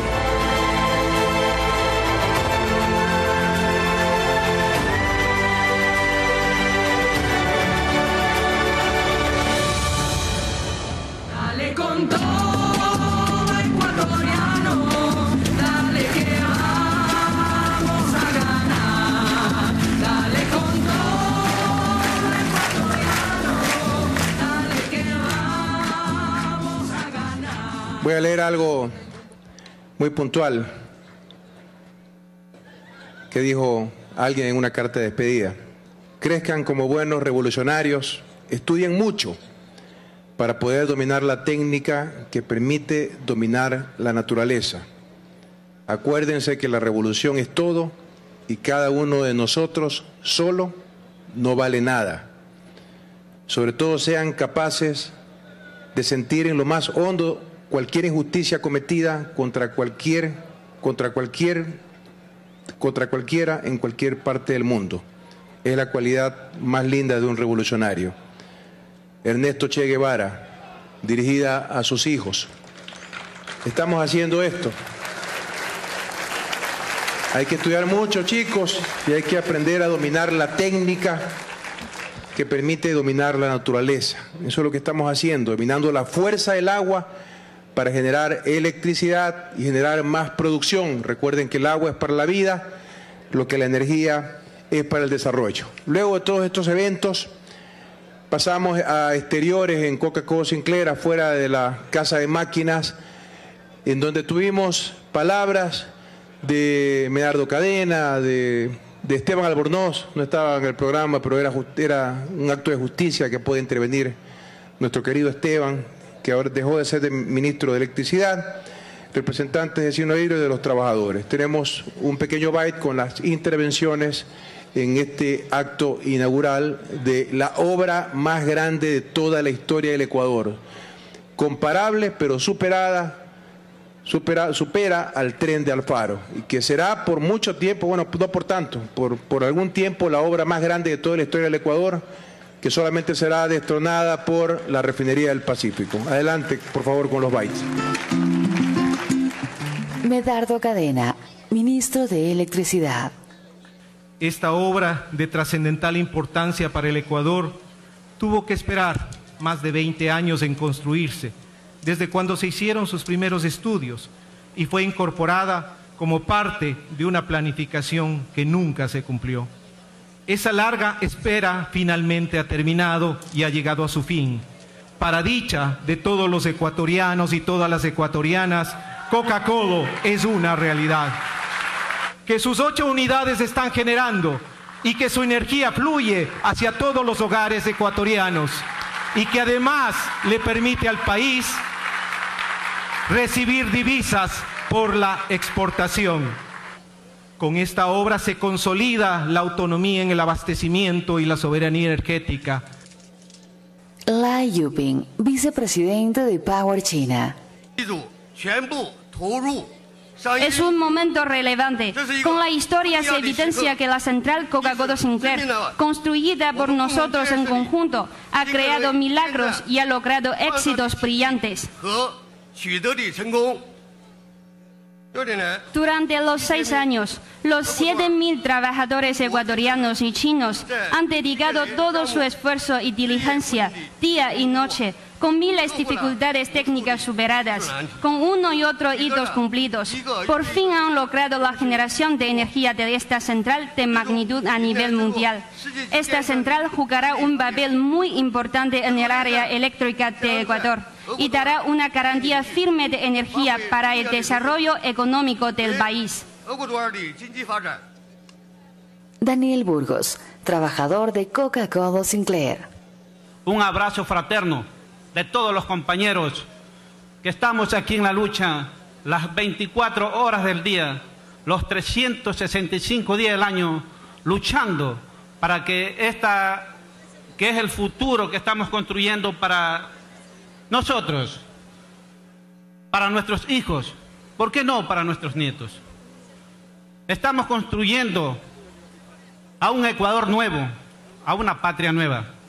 Gracias mil por siempre. Hasta la victoria siempre, compañero. Gracias. Jorge Glass, vicepresidente constitucional del Ecuador. Hoy es un momento histórico para la patria. Entregamos la central hidroeléctrica Coca Codo Sinclair, la obra más grande e importante de toda la historia del Ecuador, solo comparable con el tren de Alfaro, y que solo será superada por la nueva refinería del Pacífico. Estamos haciendo futuro, gracias a más de 7.400 trabajadores nacionales y extranjeros que pusieron su conocimiento, su esfuerzo, su trabajo para construir la central hidroeléctrica más grande del país. En este momento estamos enviando más de 200 megavatios a Colombia y vamos por la integración energética regional y el Ecuador será un polo de generación de energía para la región y no cualquier tipo de energía, energía renovable, energía que viene del agua, energía que no contamina el medio ambiente, que será el motor de las nuevas empresas, de los emprendimientos, de la investigación, de la industrialización en el Ecuador del futuro. Desde aquí saldrá la energía para dar ese salto hacia el desarrollo. Hoy, queridos compañeros, dimos un paso histórico, irreversible hacia el desarrollo de nuestra sociedad. 1.500 megavatios de potencia nos permitirá garantizar oportunidades productivas en el mediano y en el largo plazo. Tan grande es esta hidroeléctrica que por sí sola cubrirá el 100% de la demanda eléctrica de las zonas residenciales del país y más del 30% de la demanda de energía de todo el Ecuador. Estamos a la vanguardia del desarrollo energético mundial, pero todavía falta mucho más, compañeros y compañeras. Les decía al inicio que Coca-Cola Sinclair era energía para el desarrollo, era una condición habilitante para nueva producción y nueva riqueza. Los ecuatorianos no nos detenemos, los ecuatorianos vamos por más, compañeros y compañeras. Muchas gracias. Más de mil razones, más de mil motivos de la nueva patria. Un gran logro para la patria, compañeros y compañeras. Qué privilegio poder haber sido parte como servidor público, como, como ingeniero, como proyectista. Creo que para cualquiera, peor en el sector público, poder estar al inicio y al final de una obra de esta magnitud es un enorme privilegio. Muchas gracias a todos ustedes, muchas gracias al presidente por confiar en su vicepresidente, en sus ministros, en su equipo de trabajo y al apoyo de todo un pueblo. Nada de esto fuera posible sin ustedes, el apoyo de todos ustedes que se ratifica una y otra vez y del cual estamos muy agradecidos y lo que nos compromete mucho más todavía. Esto es un logro de 16 millones de ecuatorianos, hasta los que no les caemos bien, es un logro para todo el Ecuador. Tuvimos un almuerzo con trabajadores, un hornado de San Joaquín espectacular y de ahí regresamos a Guayaquil, regresamos a Guayaquil vía terrestre al Lago Agrio, por avión hasta Guayaquil. Tuvimos actividades de despacho en la oficina del vicepresidente en Guayaquil, revisión de enlace ciudadano, un trabajo con Carlos Bernal y Pablo Ortiz sobre cronogramas de reconstrucción de viviendas en Manaví y en Esmeraldas. Y con esto pasamos al segmento de varios, al guion final. Quiero hacer una importante mención. Una querida amiga, una mujer revolucionaria y uno de los puntales de nuestro gobierno, de nuestro proceso político, es sin duda alguna María Soledad Barrera, presidenta de la Corporación Financiera Nacional. Aquí está parte de su equipo de trabajo.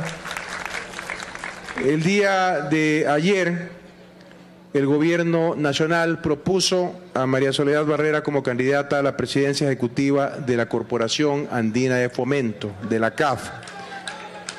Eso es una gran noticia, es una gran noticia.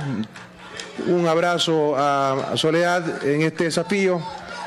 Tenemos que esperar, tenemos que esperar todavía eh, al directorio. Pero bueno, un abrazo para Soledad Barrera, además es una querida amiga en lo personal, una querida amiga de, mía y de mi familia, de mi esposa, quien queremos y apreciamos mucho.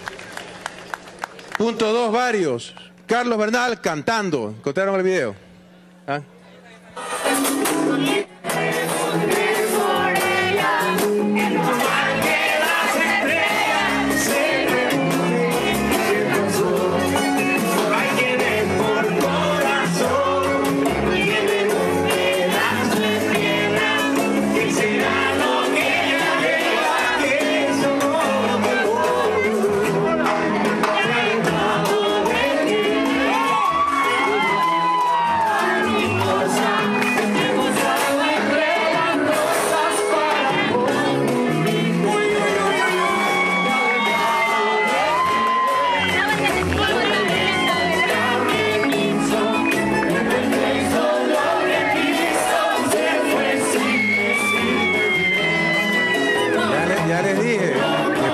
Cantante, de hobby es ingeniero y ministro de Estado.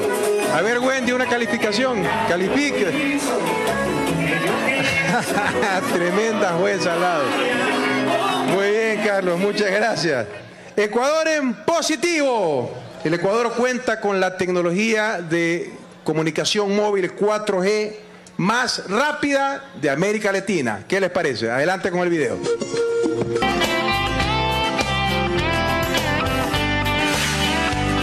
Ecuador en positivo. Ecuador tiene la tecnología 4G más rápida de Latinoamérica y la segunda más rápida del continente, según un estudio de la reconocida firma inglesa OpenSignal, que es la principal fuente de información sobre la cobertura y el rendimiento de los operadores móviles en el mundo. Tras un proceso de estudio y análisis técnico que se realizó a nivel mundial, esta entidad internacional publicó los resultados que nos coloca en el puesto 28 de 78 naciones. Es así que solo Canadá se encuentra en el primer lugar en el continente y Ecuador supera países como Francia, Japón, China, México, Estados Unidos, entre otros. El estudio realizado enfatiza que Ecuador cuenta con una velocidad promedio de descarga de 25 megabytes por segundo, lo que significa mayor velocidad y calidad en la comunicación. Entre otros beneficios, el 4G nos permite mejor conexión para navegar, ver videos, hacer videollamadas. Asimismo, es un aliado de los procesos productivos y de la innovación como el comercio electrónico, por ejemplo. Convertirnos en los más rápidos de la región es el resultado del trabajo conjunto entre el sector público y privado. Ahora más de la mitad de la población ecuatoriana accede a este servicio. Por eso podemos decir con orgullo que la revolución tecnológica es una realidad, lo que ha permitido que Ecuador sea el primero en Latinoamérica, beneficiando a millones de ecuatorianos. Los servicios 4G evidencian una vez más que Ecuador ya cambió.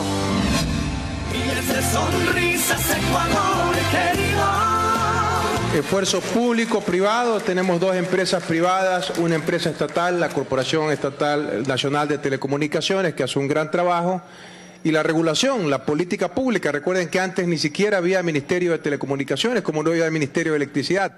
Mire, esto del neoliberalismo, del sálvese quien pueda, tiene una seducción particular para los políticos, porque cuando no hay a quien reclamar, porque dice que todo lo resuelve el mercado, arréglatela como puedas, el mercado te va a dar resolviendo tus problemas, lo cual no ha sucedido ni aquí ni en ninguna parte del mundo, ni pasará jamás.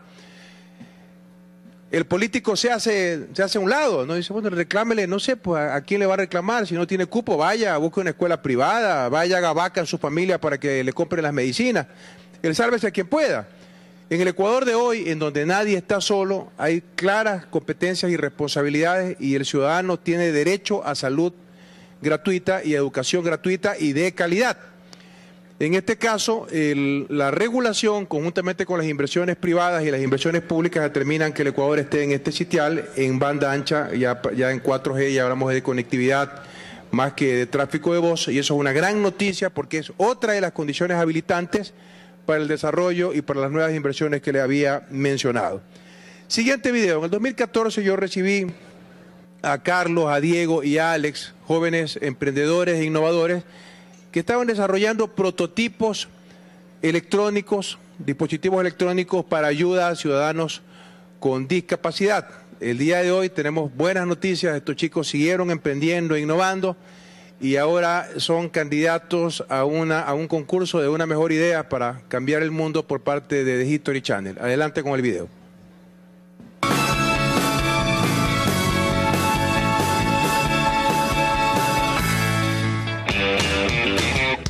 En Ecuador se puede generar tecnología. Jóvenes emprendedores hacen sus sueños realidad. El desarrollo tecnológico, la creatividad y la innovación son posibles en el Ecuador gracias a programas como el Banco de Ideas creado por Cenecit en 2014. La empresa Size 3D, formada por cuatro jóvenes, desarrolló el dispositivo Hand Eyes gracias al apoyo de esta plataforma de emprendimiento. Es un dispositivo de ayuda para personas con discapacidad visual. En el 2014, el vicepresidente Jorge Glass conoció a los innovadores con sus primeros prototipos. Ese mismo año participaron en el Banco de Ideas. Nos hicieron una invitación a que nos inscribamos en el Banco de Ideas. Seleccionaron las cuatro mejores ideas de emprendimiento. Consiste en un capital semilla de 50 mil Con esa ayuda nosotros pudimos plasmar y sacar los prototipos que ya han sido entregados a las personas no videntes. Ahora en el 2016, luego de haber concluido la etapa de incubación, se están produciendo los primeros 50 dispositivos que serán donados para personas con discapacidad visual. A veces pensamos que el cambio de la matriz productiva es hacer aquí la fábrica del chip. No, es aprender a juntar tecnología, crear un producto nuevo y saber venderlo. Entre directa e indirectamente, pues estamos trabajando con más de 20 personas. Hasta el momento, el Banco de Ideas cuenta con más de 5.000 proyectos y el gobierno nacional ha invertido cerca de 2 millones de dólares en capital semilla para varios proyectos. Productos ecuatorianos que orgullosamente digan hecho en Ecuador, por innovadores ecuatorianos, por profesionales ecuatorianos. Ha sido gracias al apoyo del gobierno, ha incrementado eh, la innovación y el crecimiento del conocimiento aquí en el país. Esta innovación traspasó las fronteras. Hoy es uno de los 10 semifinalistas del concurso de History Channel, Una idea para cambiar la historia, dirigido a innovadores de Latinoamérica. Vota por ellos hasta el 27 de noviembre ingresando a unaidea.tuhistory.com.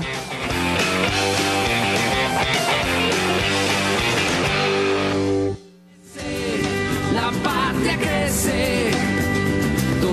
Gracias, compa, gracias. Gracias. Si pueden poner en pantallas la dirección para que votemos, para que votemos por estos jóvenes innovadores ecuatorianos. ¿Lo tenemos listo o no? Está en pantallas. Eh, esto es http dos puntos slash slash una idea punto tuhistory.com slash votar. Eso no lo han puesto ahí, slash votar. Así que apoyar, apoyar a Fabricio, a Diego, a Carlos y a Alex, es ex estudiantes ya egresados de la Escuela Superior Politécnica del Ejército. Siguiente video, créditos de desarrollo humano.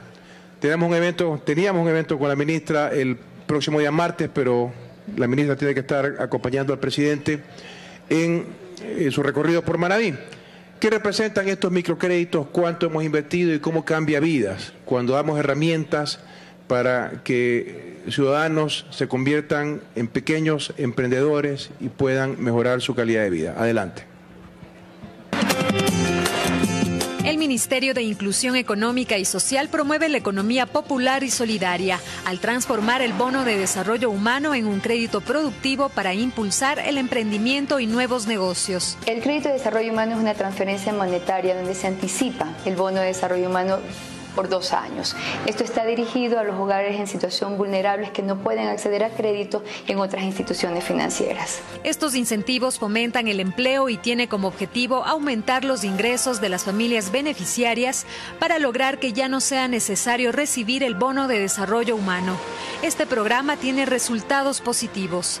Es por eso también que nosotros hemos bajado el porcentaje de personas que reciben el bono de desarrollo humano, porque a través del crédito de desarrollo humano ellos pueden mejorar sus ingresos y no solo dependen de una esta transacción monetaria que les llega mensualmente. Y así creamos nosotros que haya circulante en los territorios. Los créditos de desarrollo humano se entregan desde el 2007 y hasta la fecha se han invertido más de 933 millones de dólares en esta línea de financiamiento, beneficiando a más de un millón y medio de nuevos emprendedores. En el 2016 se han invertido más o menos 68 millones y medio de dólares a más de 93 mil eh, beneficiarios. Eduardo y Eduvina son beneficiarios de Durán, provincia del Guayas. Eduardo puso un negocio de crianza de peces para consumo humano. A través del MIES, del crédito de desarrollo humano, que fueron 600 dólares, logramos construir lo que es la piscina, invertimos en lo que es semilla de chame y lo que es obviamente la alimentación para el chame. Una vez al año se da la producción, la pesca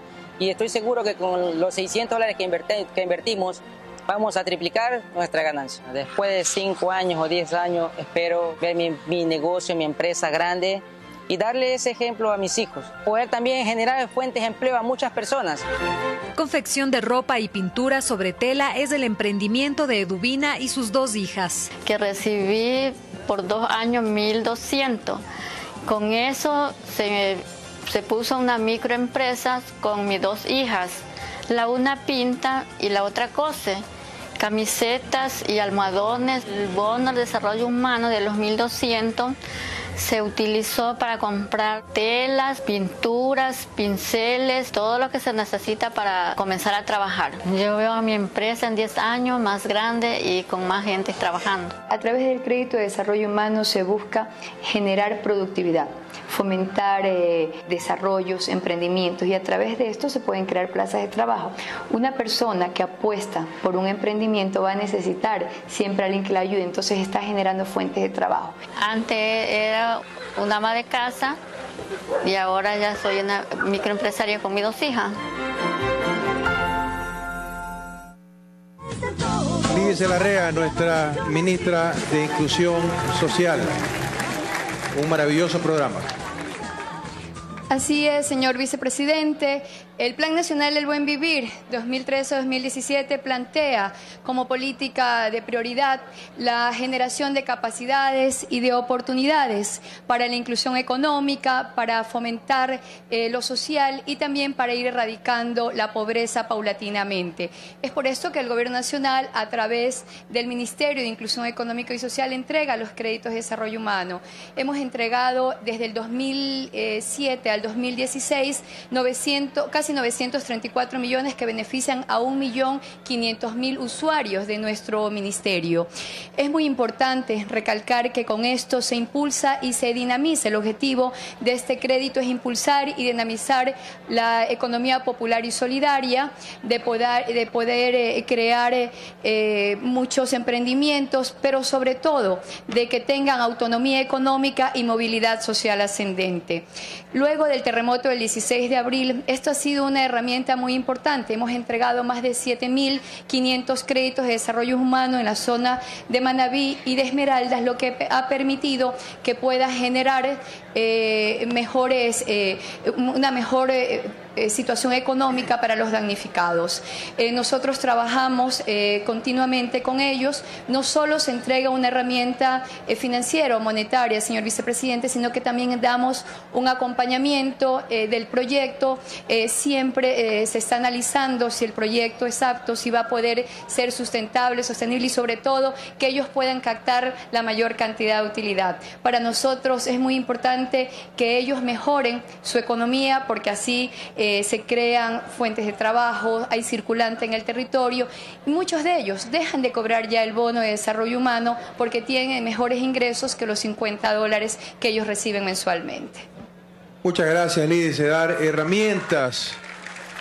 Ojalá pronto tengamos 16 millones de emprendedores, una herramienta poderosa para nuestro gran objetivo, la erradicación de la pobreza. Y ya, ya coordinaremos la fecha para hacer el evento en Guayaquil que estaba pendiente, Liz. Sí, señor vicepresidente, también dentro de nuestros albergues se han capacitado más de mil jefes de familia eh, con el IEPS y también con el SECAP para que ellos puedan ser emprendedores y puedan ser también eh, habilitados para tener este tipo de eh, herramientas como es el crédito o también otros, otros emprendimientos a través del Instituto de Economía Popular y Solidaria con el que trabajamos coordinadamente. Muy bien, Lidia, un abrazo para todos los miembros del MIDES, para todas las chicas del MIDES que están en los albergues, hacen un trabajo extraordinario.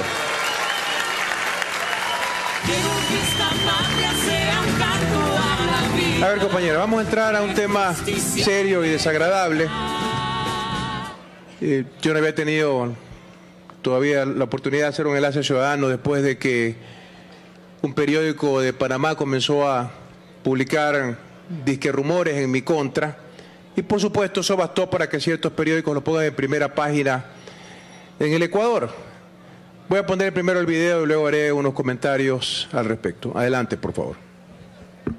Los politiqueros, con disfraces de periodistas, aprendieron de la partidocracia sus malas mañas, pues sin ningún principio ni ética propagaron en sus medios un chisme publicado por el diario Estrella de Panamá, dentro de su columna de chismografía La Llorona, para atacar al gobierno.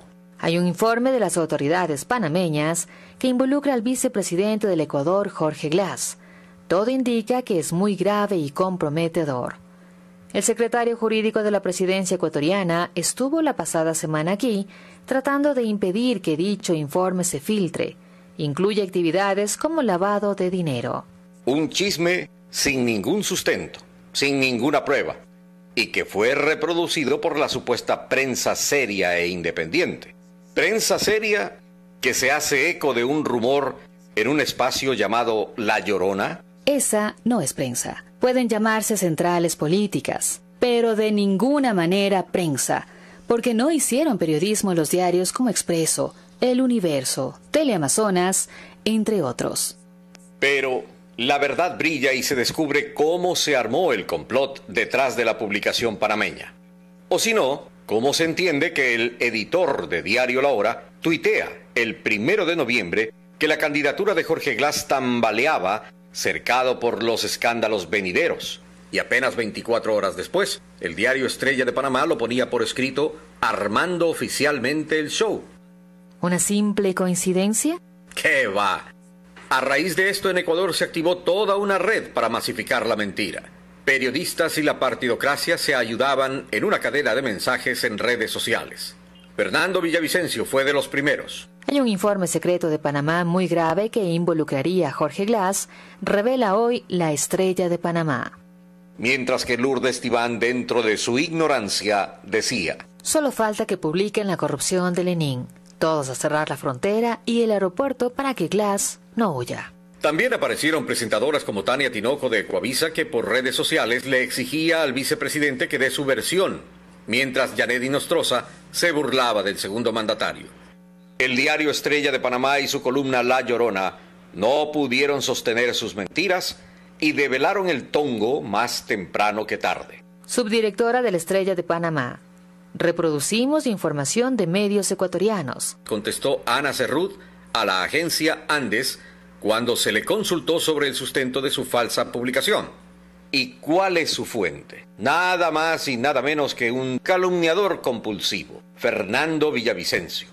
El tongo quedó en evidencia, pero ahora los medios comerciales callan. Callan también los políticos y otros, pese a todo, porfían con el engaño. Hernán Pérez Luz, en el universo, en estos días. Grave síntoma ha sido ese de salir furiosamente a negar toda veracidad al comentario hecho por La Estrella de Panamá, un antiguo diario panameño, sobre el involucramiento de un alto funcionario en actos de corrupción internacional. La miseria del periodismo y la partidocracia haciendo política de la peor ralea. No pudieron demostrar lo que tanto dijeron. No demostraron que Alexis Mera estuvo en Panamá para frenar el supuesto informe. De hecho, el secretario jurídico de la presidencia no ha estado en ese país desde hace un buen tiempo, como lo recuerda.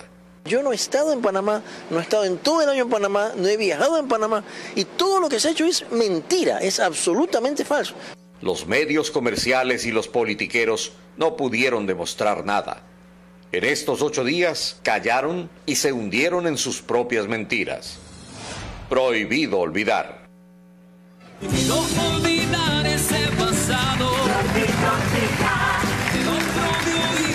Yo no sé qué le, pasa por odio, por, por desprecio. Primero, aquí en, todo hace referencia a un evento lamentable, un puñado de pillos que teníamos enquistados dentro de Petroecuador nos traicionaron y están siendo perseguidos. Recientemente acaban de capturar a otro de los prófugos en Panamá, precisamente. No recuerdo, no recuerdo el nombre. Esto está en manos de la justicia y estamos vigilantes que el látigo en contra de la corrupción, como ustedes les consta, llegue al último de los involucrados. Esto es como un cáncer, hay que extraerlo, ver hasta dónde tiene ramificaciones y así lo estamos haciendo, por denuncias nuestras. Esto se descubrió por la denuncia de Pedro Merizalde en contra de Alex Bravo. La denuncia penal de Pedro Merizalde, luego creo que también del Servicio de Rentas Internas, me parece Leonardo, Alexis Mera, determina una investigación internacional donde se revelaron que en paraísos fiscales, que más allá del régimen tributario es la sombra de que tienen cosas ocultas, habían actos ilícitos y están siendo perseguidos. Le hemos prometido al pueblo ecuatoriano justicia y así lo vamos a hacer. No puedo prometerle que no va a haber corrupción. Si hubiera alguna, algún identificador automático de corruptos, sería fantástico, pero no lo hay. Solo para hacer una referencia, yo coordino sectores estratégicos y productivos, ese es el encargo del presidente del vicepresidente para la estrategia de cambio de matriz productiva. Cada unidad ejecuta su, su presupuesto, su forma de contratación, etcétera. O sea, debajo de esos dos ministerios deben haber, no sé, 60 mil personas. Yo no voy a permitir que manchen la honra de esas 60 mil personas por un puñado de corruptos que nosotros los hemos identificado y lo estamos persiguiendo. ¿Y ahora qué le pasa a esta señora Tinoco? Que yo salga a dar explicaciones de qué, pues. De un rumor, de un periódico. Le pongo un ejemplo. Un ejemplo. Asumamos que a la señora Tinoco, no sé, pues a su esposo, le afecte un rumor. Asumamos que estén corriendo rumores del esposo de la señora Tinoco, por poner un ejemplo nada más. ¿Tiene que el esposo salir a dar explicaciones? ¿Tiene que ella salir a dar explicaciones? Porque hay un rumor acerca de un miembro de su familia.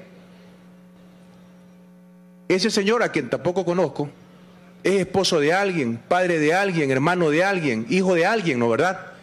Tiene derecho a la honra, al buen nombre se han olvidado que yo también tengo derecho a la honra y al buen nombre. Soy hijo de alguien, padre de alguien, esposo de alguien, hermano de alguien. Y además,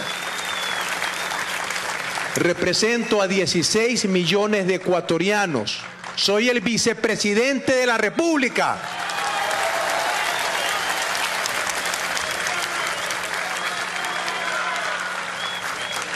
Y si la señora cree que tengo colaboradores. He tenido, sí, colaboradores corruptos. Esto, y yo he asumido, lo dije a la ciudadanía y he pedido disculpas públicamente. Créanme, trajimos las mejores fiscalizadoras del mundo, los mejores ingenieros, los mejores, la mejor tecnología. Nos armaron, desgraciadamente, una trama de corrupción, pero lo vamos a perseguir sin cálculo político. ¿ah? Aquí no hay cálculo político. El látigo en contra de la corrupción, indistintamente donde caiga. Látigo. Aquí no hay cálculo político. Dicen, no, oye, no digas nada. Mira que las elecciones nada. Tu dinero del pueblo y es sagrado. Eh, la honra de las personas. Ahora, si la señora, que no me conoce, sí me conoce porque yo trabajaba instalando antenas en canales de televisión, no, no se acordará de mí, yo cargaba los cables. Si esta señora puede pedir referencias, pues a algún colaborador mío, para que le digan cómo soy yo, pues, para que le cuenten de mi lucha contra la corrupción. ¿Por qué no le pregunta, señora Tinoco, a su hermano, querido amigo mío, colaborador mío desde el año 2007, a quien aprecio mucho, Jorge Tinoco, que es su hermano y que trabaja conmigo desde el año 2007? ¿Por qué no le pregunta qué clase de hombre soy yo? Él, junto a mí, ha luchado contra la corrupción y es un querido y apreciado colaborador. Lo quiero mucho, es muy capaz y quiero mucho a su familia. Señora Tinoco, yo tengo familia, no tengo que dar explicaciones de rumores ante nada. Usted sabe que yo tengo declaración patrimonial, usted es periodista. O sea, no es tonta, usted sabe lo que está haciendo. Usted quiere hacer famosa costillas de mi honra. No se lo voy a permitir. Ni al periódico ese de Panamá. Yo mandé una carta al periódico, la han publicado, pero esa carta tenía dos componentes. Lo comentaré después del siguiente reportaje. Con sorpresa e indignación, he visto que en los últimos días el periódico que usted representa se ha dedicado a propagar rumores sin sustento en contra de mi honra. Y me ha causado indignación porque usted, a través de su periódico, no solamente me está ofendiendo a mí, Jorge Glass, sino a los 16 millones de ecuatorianos a quienes represento en calidad de vicepresidente de la República del Ecuador. Sin embargo, sospecho las motivaciones de su ataque tan feroz en mi contra, pues este año el presidente Rafael Correa planteó al mundo una lucha en contra de prácticas financieras que dan cabida a delitos graves como el lavado de activos y la evasión tributaria, lo cual sin duda alguna afecta intereses de grupos a los que yo personalmente y el gobierno del que soy parte hemos combatido permanentemente. Me temo que su periódico está siendo un instrumento de esos intereses para bloquear el pacto ético. Hace una década que soy funcionario público, liderando cambios profundos en el manejo de los sectores estratégicos del Ecuador, y desde el primer día, los grupos opositores, que antes se enriquecían con estas áreas, intentaron dañar mi honra. Diez años después, no existe ni una sola denuncia en mi contra.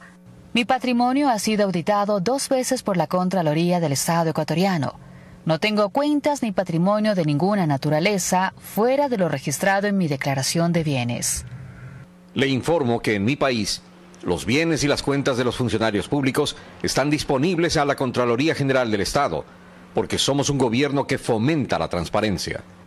Es usted, señor Berroa, quien debe demostrar que yo tengo alguna cuenta en algún banco, alguna empresa o cualquier activo de cualquier naturaleza en su país o en cualquier otro país que no sea el Ecuador.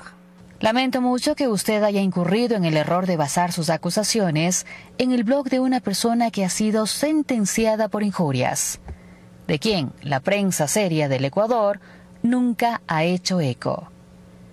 Exigimos que por la seriedad que dicen reivindicar, por no existir sustentos o bases en sus afirmaciones, además de publicar esta carta, se expresen en el mismo medio de comunicación las disculpas públicas a quien suscribe esta comunicación. De no probar sus acusaciones, acudiré a las Cortes de Justicia para hacer valer los derechos que me asisten, de conformidad con lo dispuesto en la Constitución Política de Panamá y en el Código Penal panameño. Quienes representamos al Ecuador no estamos en la función pública para quedarnos callados ante las injusticias. Atentamente, Jorge Glass Espinel, Vicepresidente Constitucional, República del Ecuador.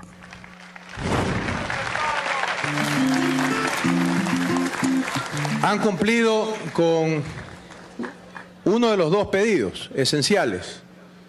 La publicación de la carta, además el embajador me ha informado de que la carta también fue publicada íntegramente en otro diario de Panamá. Pero hay una segunda condición mostrar o las pruebas de que yo tengo cuenta, patrimonio, movimiento de un centavo en alguna cuenta en Panamá o en cualquier parte del mundo. O segundo, como no van a encontrar nada porque no tengo nada, tienen que pedir disculpas públicas. Yo represento 16 millones de ecuatorianos y también represento a Jorge Glace Pinel, esposo, padre, hijo, hermano. No van a ensuciar la honra.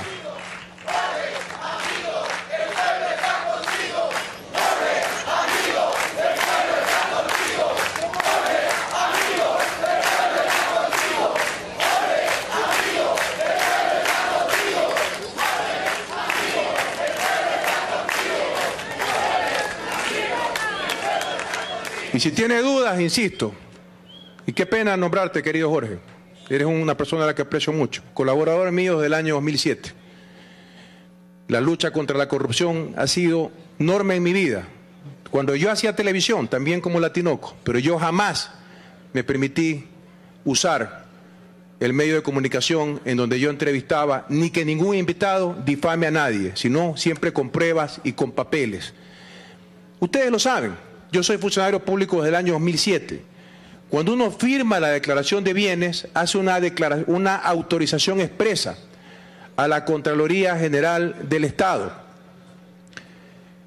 para que pueda investigar todas tus cuentas. Uno actualiza la declaración patrimonial cada dos años. Y aparte, yo he solicitado dos auditorías patrimoniales. ¿Qué significa eso? Que te auditan hasta los movimientos, los depósitos, retiro, a quién pagaste. míos y de mi esposa. Mi esposa y yo, nuestra familia, vive de nuestros salarios. Mi esposa trabaja en una empresa privada hace más de 10 años y a Dios gracias, gana bien, profesional. Mi esposa trabaja desde los 16 años. Era sabatina en, en Tía. Trabajaba los sábados y los domingos. Yo trabajo de los 18 años. Las he pasado difícil, pero siempre supe que iba a ser profesional. No sabía que iba a ser vicepresidente de la República. Eso es bendición de Dios. A Él, a Él le dedico todo mi trabajo para ustedes. Yo estoy aquí porque tengo un ángel colgado en el cuello, por alguna razón que yo nunca he entendido. Pero tengo conciencia de ello. Todavía tengo un video que no lo tengo disponible. Por Vamos a ver. Esta fue, esta fue mi respuesta, porque yo no voy a, mire, yo no voy a salir cada vez, y yo sé que esto va a ser permanente. Lo conversaba con Lenín hace pocos días, con Lenín Moreno, soy binomio de Lenín. Los rumores, mientras estábamos reunidos en el Palacio de Carondelet, revisando listas de candidatos, yo no sabía por qué me llegaban los mensajes de apoyo, de respaldo, me escribían por correo electrónico, le digo, gracias compa, pero no sé, no sé de qué me estás hablando. Hasta que salí, pues, y me di cuenta de todo el adefesio que estaban armando a través de las redes sociales. Yo creo que es un desafío, un desafío. Yo soy ingeniero electrónico, lo comenté con Lenín también. Yo creo que un desafío, una propuesta al mundo va a ser muy difícil. Las redes sociales tienen que ser para comunicar, no para difamar. Y gracias al anonimato existen difamadores a tiempo completo o gente enferma que que bajo el anonimato escribe cualquier porquería, destruir honra, inventar, destruir. Cada usuario de, red social debe tener nombre y apellido para que se haga responsable de lo que dice y de sus opiniones. Creo que eso es esencial. Pero eso debe ser una regulación mundial. Lo voy a proponer, no sé ni quién debería regular eso. Podría ser la UIT, la, Unión Internacional de Telecomunicaciones, o no sé porque no puedes usar eso para difamar y comienzan a crear y a destruir. Imagínense que a la señora Tinoco, por ejemplo, comiencen a, le pongo ejemplo, rumores de su esposo, no se indignaría, no reclamaría, no pediría justicia, no pediría que, demuestre, pediría que demuestren si el rumor es cierto y si quiere pedir referencias, pídase a Jorge Tinoco, a su hermano, que trabaja conmigo y es un querido amigo. Desde el 2007 lo encontré en el Fondo de Solidaridad y ha seguido siendo parte del equipo de trabajo y lo seguirá siendo, porque yo no soy una persona de rencores ni de odios. Es más, señora Tinoco, quiero decirle algo. Que Dios la bendiga a usted y a su familia.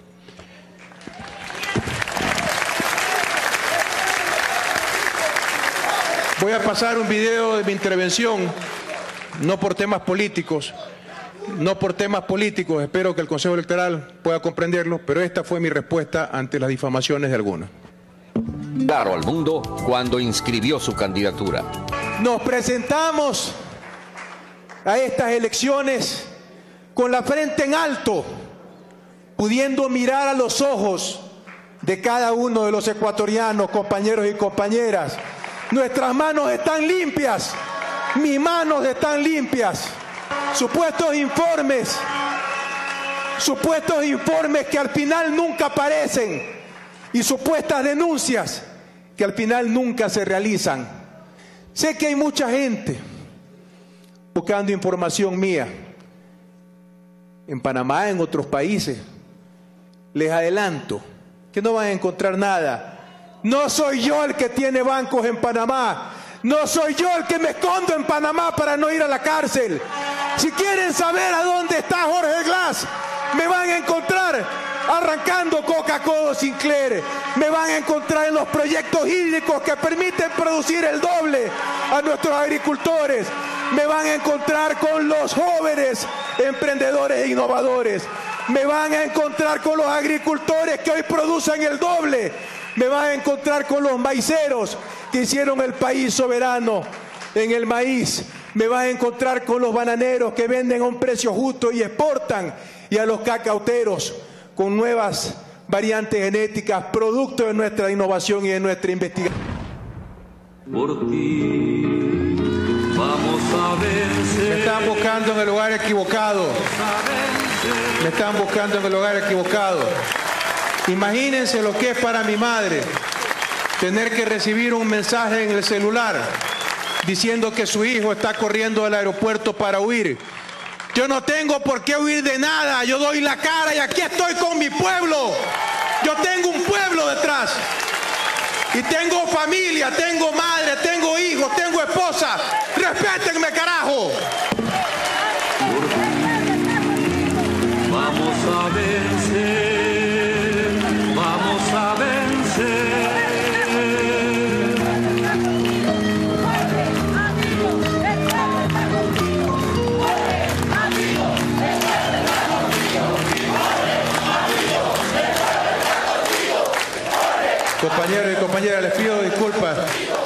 Les pido disculpas. La verdad es que ya hay cosas que tienen un límite. Les pido disculpas. No, no, no debo usar palabras subidas. Les pido disculpas al pueblo ecuatoriano. Lo lamento profundamente. Vamos adelante con un video. Vamos adelante con un video de los sindicalistas, de los sindicalistas en el Ecuador y que ahora fungen de periodistas. Adelante, por favor. En la competencia de los sindicatos dorados de la partidocracia, los petroleros se llevaban la medalla de oro. Por décadas, los dirigentes de estos gremios dilapidaron la riqueza de todos los ecuatorianos y fueron conocidos políticos de oposición, los principales protagonistas. Abril 1999. Una revista local daba cuenta de estas verdaderas becas doradas. En primer lugar, Fernando Villavicencio, hoy parte del movimiento Creo del ex banquero Lazo. Villavicencio recibió 462 millones de sucres por apenas tres años de trabajo, o sea, más de 12 millones de sucres por mes. Y no fue la primera vez, por cierto.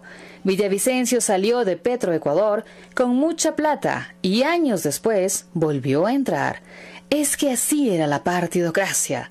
En el 2003, por cuatro meses de trabajo, le dieron más de 6.500 dólares.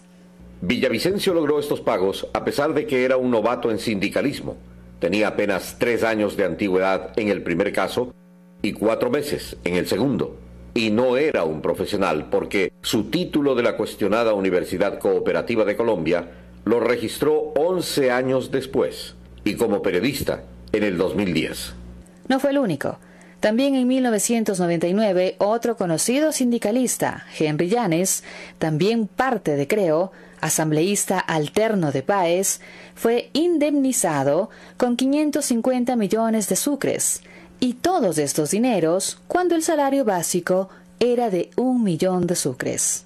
Pero las prebendas del sindicato petrolero no se quedaban ahí. Una extensa lista de aguinaldos, sobresueldos y bonos de todo tipo. Por ejemplo, bono de compensación social cada mes por un millón y medio de sucres, plan médico familiar, que incluía a los hijos hasta los 23 años y hasta los padres que dependan del trabajador, dispensarios médicos de Petroecuador con servicio de ambulancia, además de la reposición de gastos oftalmológicos y odontológicos del sindicalista, su mujer y sus hijos de hasta 23 años. También tenían préstamos sin intereses. 35 millones de sucres, por ejemplo, a 10 años sin interés. Usaban de vacaciones duplicadas y hasta joyas. Un pergamino y 8 millones de sucres para el mejor trabajador del distrito. Anillo de oro de 18 quilates y 15 gramos por 25 años de servicio. Sede social estilo campestre en el Valle de los Chillos, solo para los trabajadores y sus familiares. Canasta navideña con un mínimo de 2 millones de sucres, o sea, dos salarios básicos. Campamentos y colonias vacacionales para los hijos de los trabajadores y un pago adicional de 80 millones de sucres cada año para cada uno de los sindicatos de las cuatro filiales. Por cierto, los dirigentes de los sindicatos no trabajaban porque tenían permisos permanentes e indefinidos. Llegó la Revolución Ciudadana y todo esto terminó.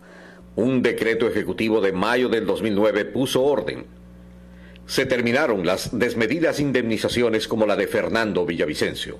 Hoy las cosas en su orden correcto. Ya sabemos entonces de dónde viene tanta rabia de los antiguos dirigentes del sindicalismo dorado y que hoy se presentan como supuestos expertos petroleros y políticos de oposición.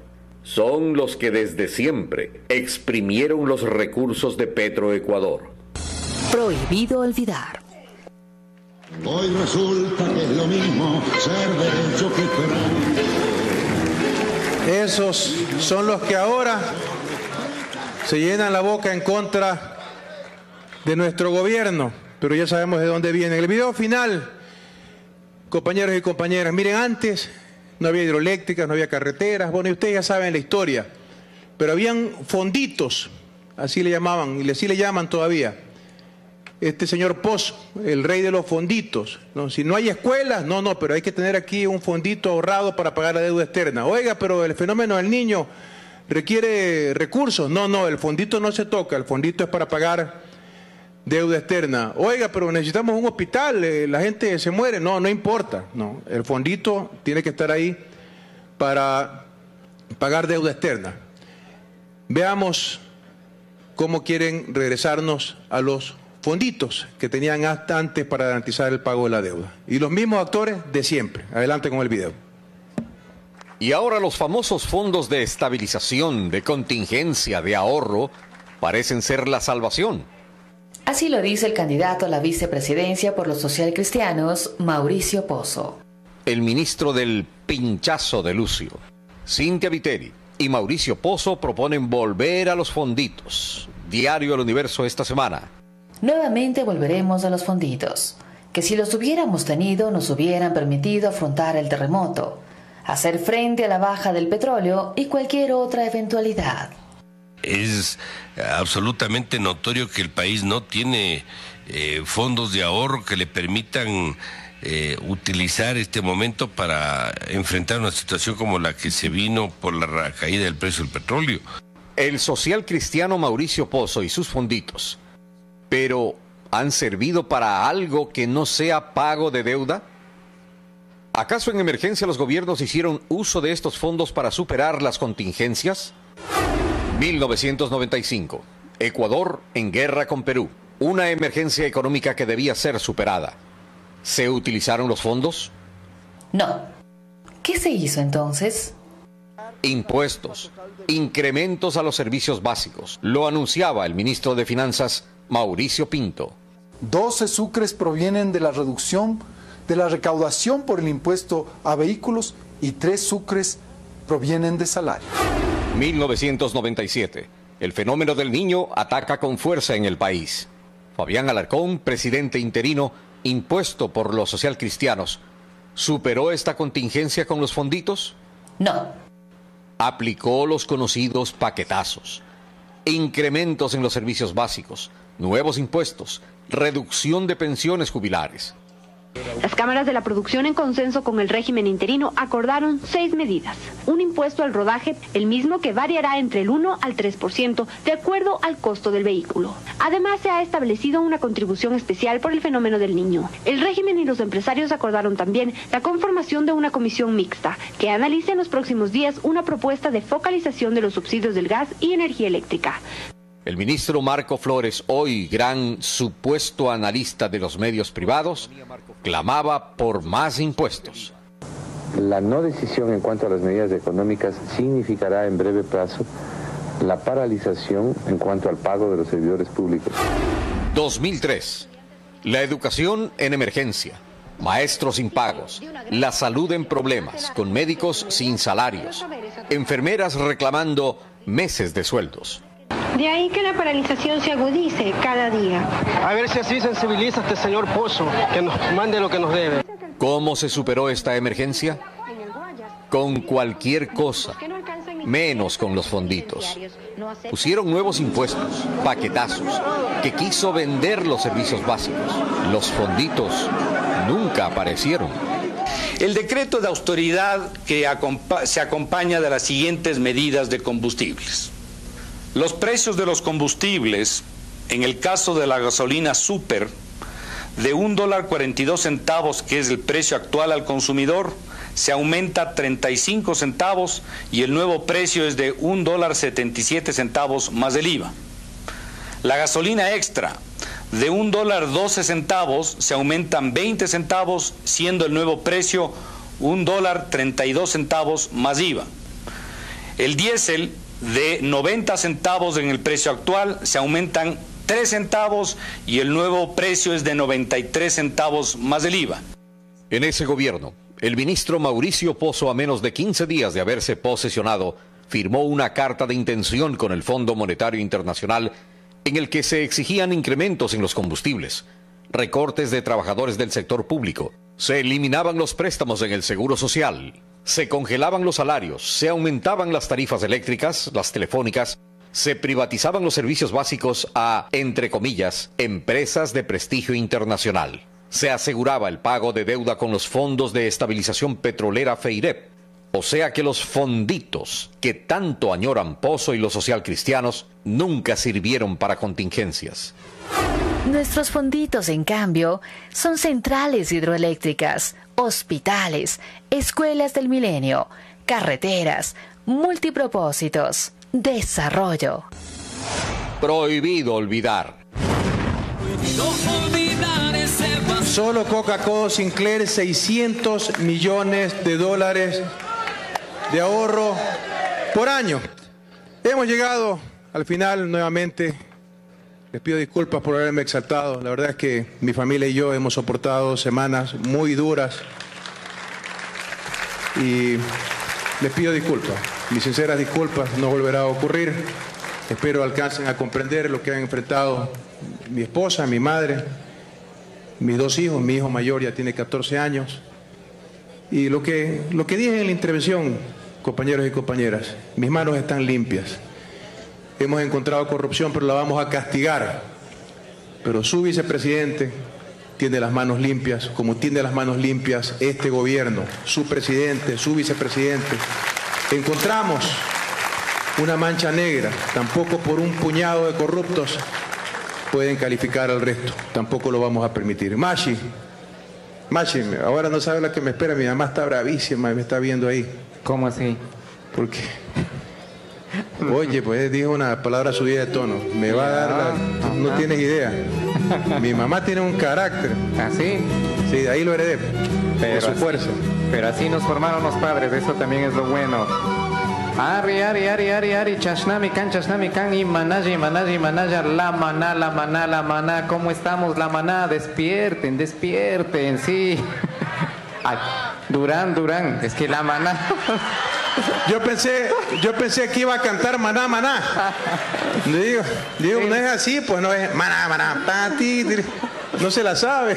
No, estaba recordando el sábado anterior. La maná, la maná, en, la maná enlace 500. Ari, Ari, Rafael Correa, Yacta Puchaca, Caina, sábado, Punyaca, La Maná, Pimi, Carque, Chaipimi, Pichca, Pazza, sábado, Chaychina, Ima, Rurashka, Kunata, Rixi, Chirca. Lunes, Punya, Rafael Correa, Yacta Puchaca, Tarqui, Granadero, Kunapa, Yaikuna, Yuxina, Pimi, Carca, Chaipimi, República de Honduras, y Achana, Huasica, y Cambato, Mantami, Can, y Paikunami, Chaipi, Carca. Miércoles, Punya, Rafael Correa, Yacta Puchaca, Chaychina, Lenin Moreno, Jorge Glaswan Michachina, Agyanata Riku Tandanacuiman Rirka y Chaipimi Shutita Kilka Chirka. Jueves Punja, Rafael Correa Yacta Puchaca, Xi Jinping, China Yacta Puchaktami Chaskirka y Paiwanmi Parlarka. Viernes Punja, Rafael Correa Yacta Puchaca Maipimi Eku Iskun Shuk Shukan, Chaipimi Xi Jinping, China Yacta Puchawan Coca Codo Sinclair China Michata Ruranatami Kurka y China Yata Napoleón Dávila, Hambi Wasipi China Punta Kutin o Punta Rumita Churin Churanatami China Rikurka. Hipamanca, Rafael Correa Yacta Puchaca Loja Mami Rirka y Loja Pimi China Benjamín Carrión Mushu Garangua Guasita Kurka. Jorge Glass Kati Puchaca hasta Katami Rurashka y Matata Rurarca que en noviembre Quilla Iskun Punyaca Maipita Carca Bruselas Bélgica Mami Rirka y Chaipimi Chaychina Hatun Hatun Ruranata Charirka. Unión Europea Wan Michaychina Pangata Shuti Kilkangapa Chayman Rirka.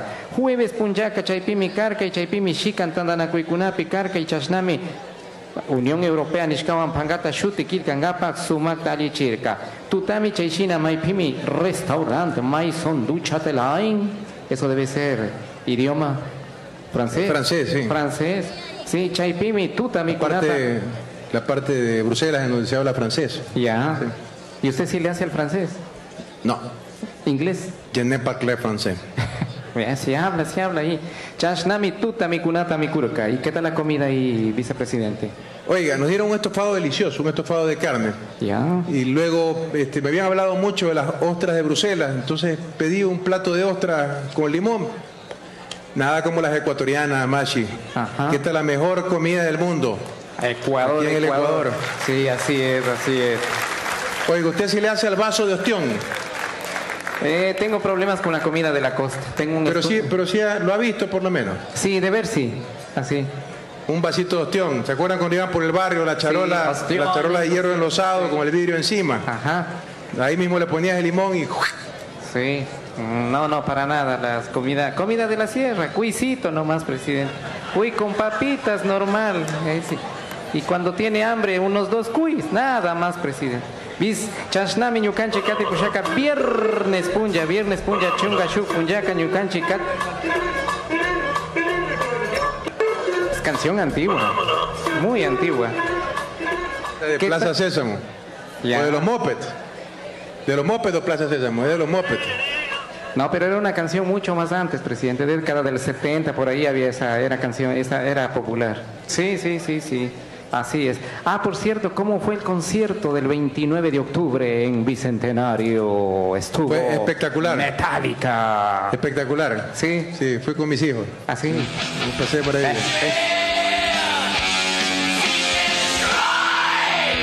Yeah, yeah. ¿Fuiste al concierto? No. Sí.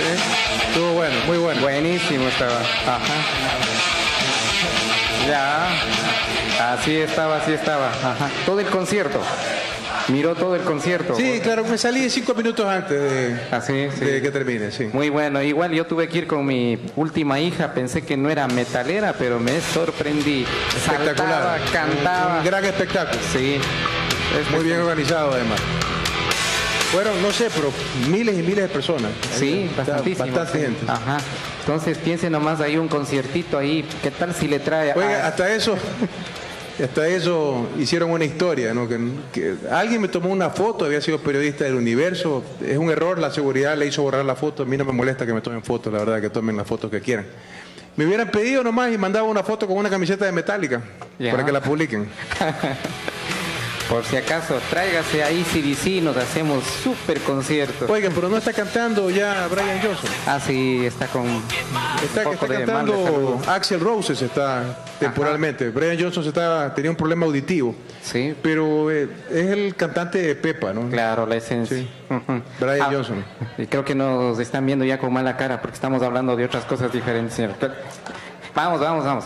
Noviembre, quilla, viernes, chunga, shupunyaca, ñucanchi, kate, pushaka, chaishina, eh, Bélgica, pimi, carca, chaipimi, Euronews, pa, chaishina, Willy, aguantananakurka, tapoikunata, kutichirki, shinayata, F, manta, chaishina, Willy, kunawan, pashmi, tananakurka, y chaishina, tapoikunatami, kutichirka. Viernes, punya, yantami, chinayata, Cecilia Malmström, paiwanmi, tananakurka, y paiwanmi, chaishina, Unión Europea, awan, chaishina, shuti, pangata, shuti, kilkangapak, imakunata, alichirka. Y chay, washami, ña chayshina ña chishi tukukpika Unión Europea wanmi Ecuador kapangata shuti kilkarka chay washaka chawpi puncha mikunatami mikurka y ña kitoman shamurka lunes lunes lunes kaina lunes puncha Jorge Glass kati pushaka chayshina Estados Unidos banta yankachi wasiu kunawanmi tananakurka paykunapak yuyay kunatami uyarka y shinallata ima tiashkatami rikuchirka chay washaka tarki granadero kunapa yaykuna chukshina pimikarka y chashnami República de Honduras. Eh, yachana wasimantak paykunaka ambato mantami kan paykunami chayshina tarki granadero kunapa yaykuna yukshinapi karka martes punja guayaquilmanmi rina karka shinapash mana usharkachu y chaymantami shuk rurana kunawan kaypi karka y ñachi shipika Ecuador chayshina Venezuelawan pukllanatami rikurka chashnami Ecuador kimsa Venezuela shuk fue al estadio o solo miró por TV Eh, por televisión y por momentos. La verdad es que estaba trabajando en la oficina. Ya. Pero lindo triunfo. Qué bien, ¿no? Felicitaciones a la tri. Ya. Sí se puede. Sí se puede. Y creo que Chino Gómez debe estar feliz por lo del Barça, ¿no? Que ya mismo vamos a tener quinceañera. Quinceañera, dice. Ajá. ¿Qué más queda? Felicitar, felicitar a Barcelona. ¿Qué pasó con su MLE? Hay que dar chance. No. Pero está dando largo Barcelona, ¿no? Está dando largo. Y esta tarde pronóstico, Emelec Liga. Emelec. Chasnami kan.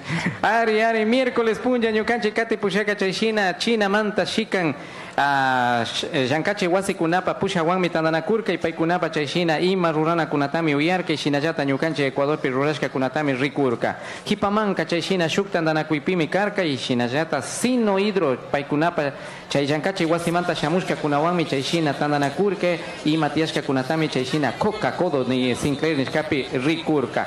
Y chay washaka ñukanchi kati pushaka chayshina Alianza País chayshina tandanakushpami maypimi agllanata riku wasi eh, tandanakuypa wasi kancha imami chayshina shuti kunata kilka chingapa rirka chashnami Lenin Moreno Jorge Glass paykunapa shuti kunata kilka chirka ishina yata hatun tandanakuypi kagri kunatapas jueves punja jueves punja Jorge Glass kati pushaka maypita karkas Quito pimi Solanda pimi karka y chaypimi David Mesa paypa wasita rikungapa rirka payka kimsa chunga shuguatayumi kan ingenieromi kan abogadomi kan y chashnami paypa chayshina ima rurashka kunata rikungapa chayarka y chashnami chay wasipika chay eh, wasiu kunaka tigrillo encebollado mishkitami kurka tigrillo ahí en, las, en Solanda Estaba espectacular, oiga. Además era medio aniñadito, ¿no? Porque era tipo chef. Ya. Entonces cuando las cosas son medio aniñaditas te sirven poquito, tuve que repetir el plato.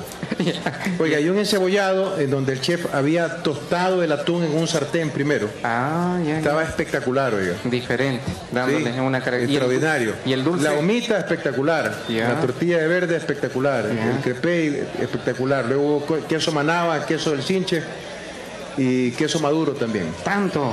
Sí. Aparte de que usted ya vino desayunando en la casa, ¿no? No, la verdad es que fui sin desayunar. Ya, ya, ya me las olía.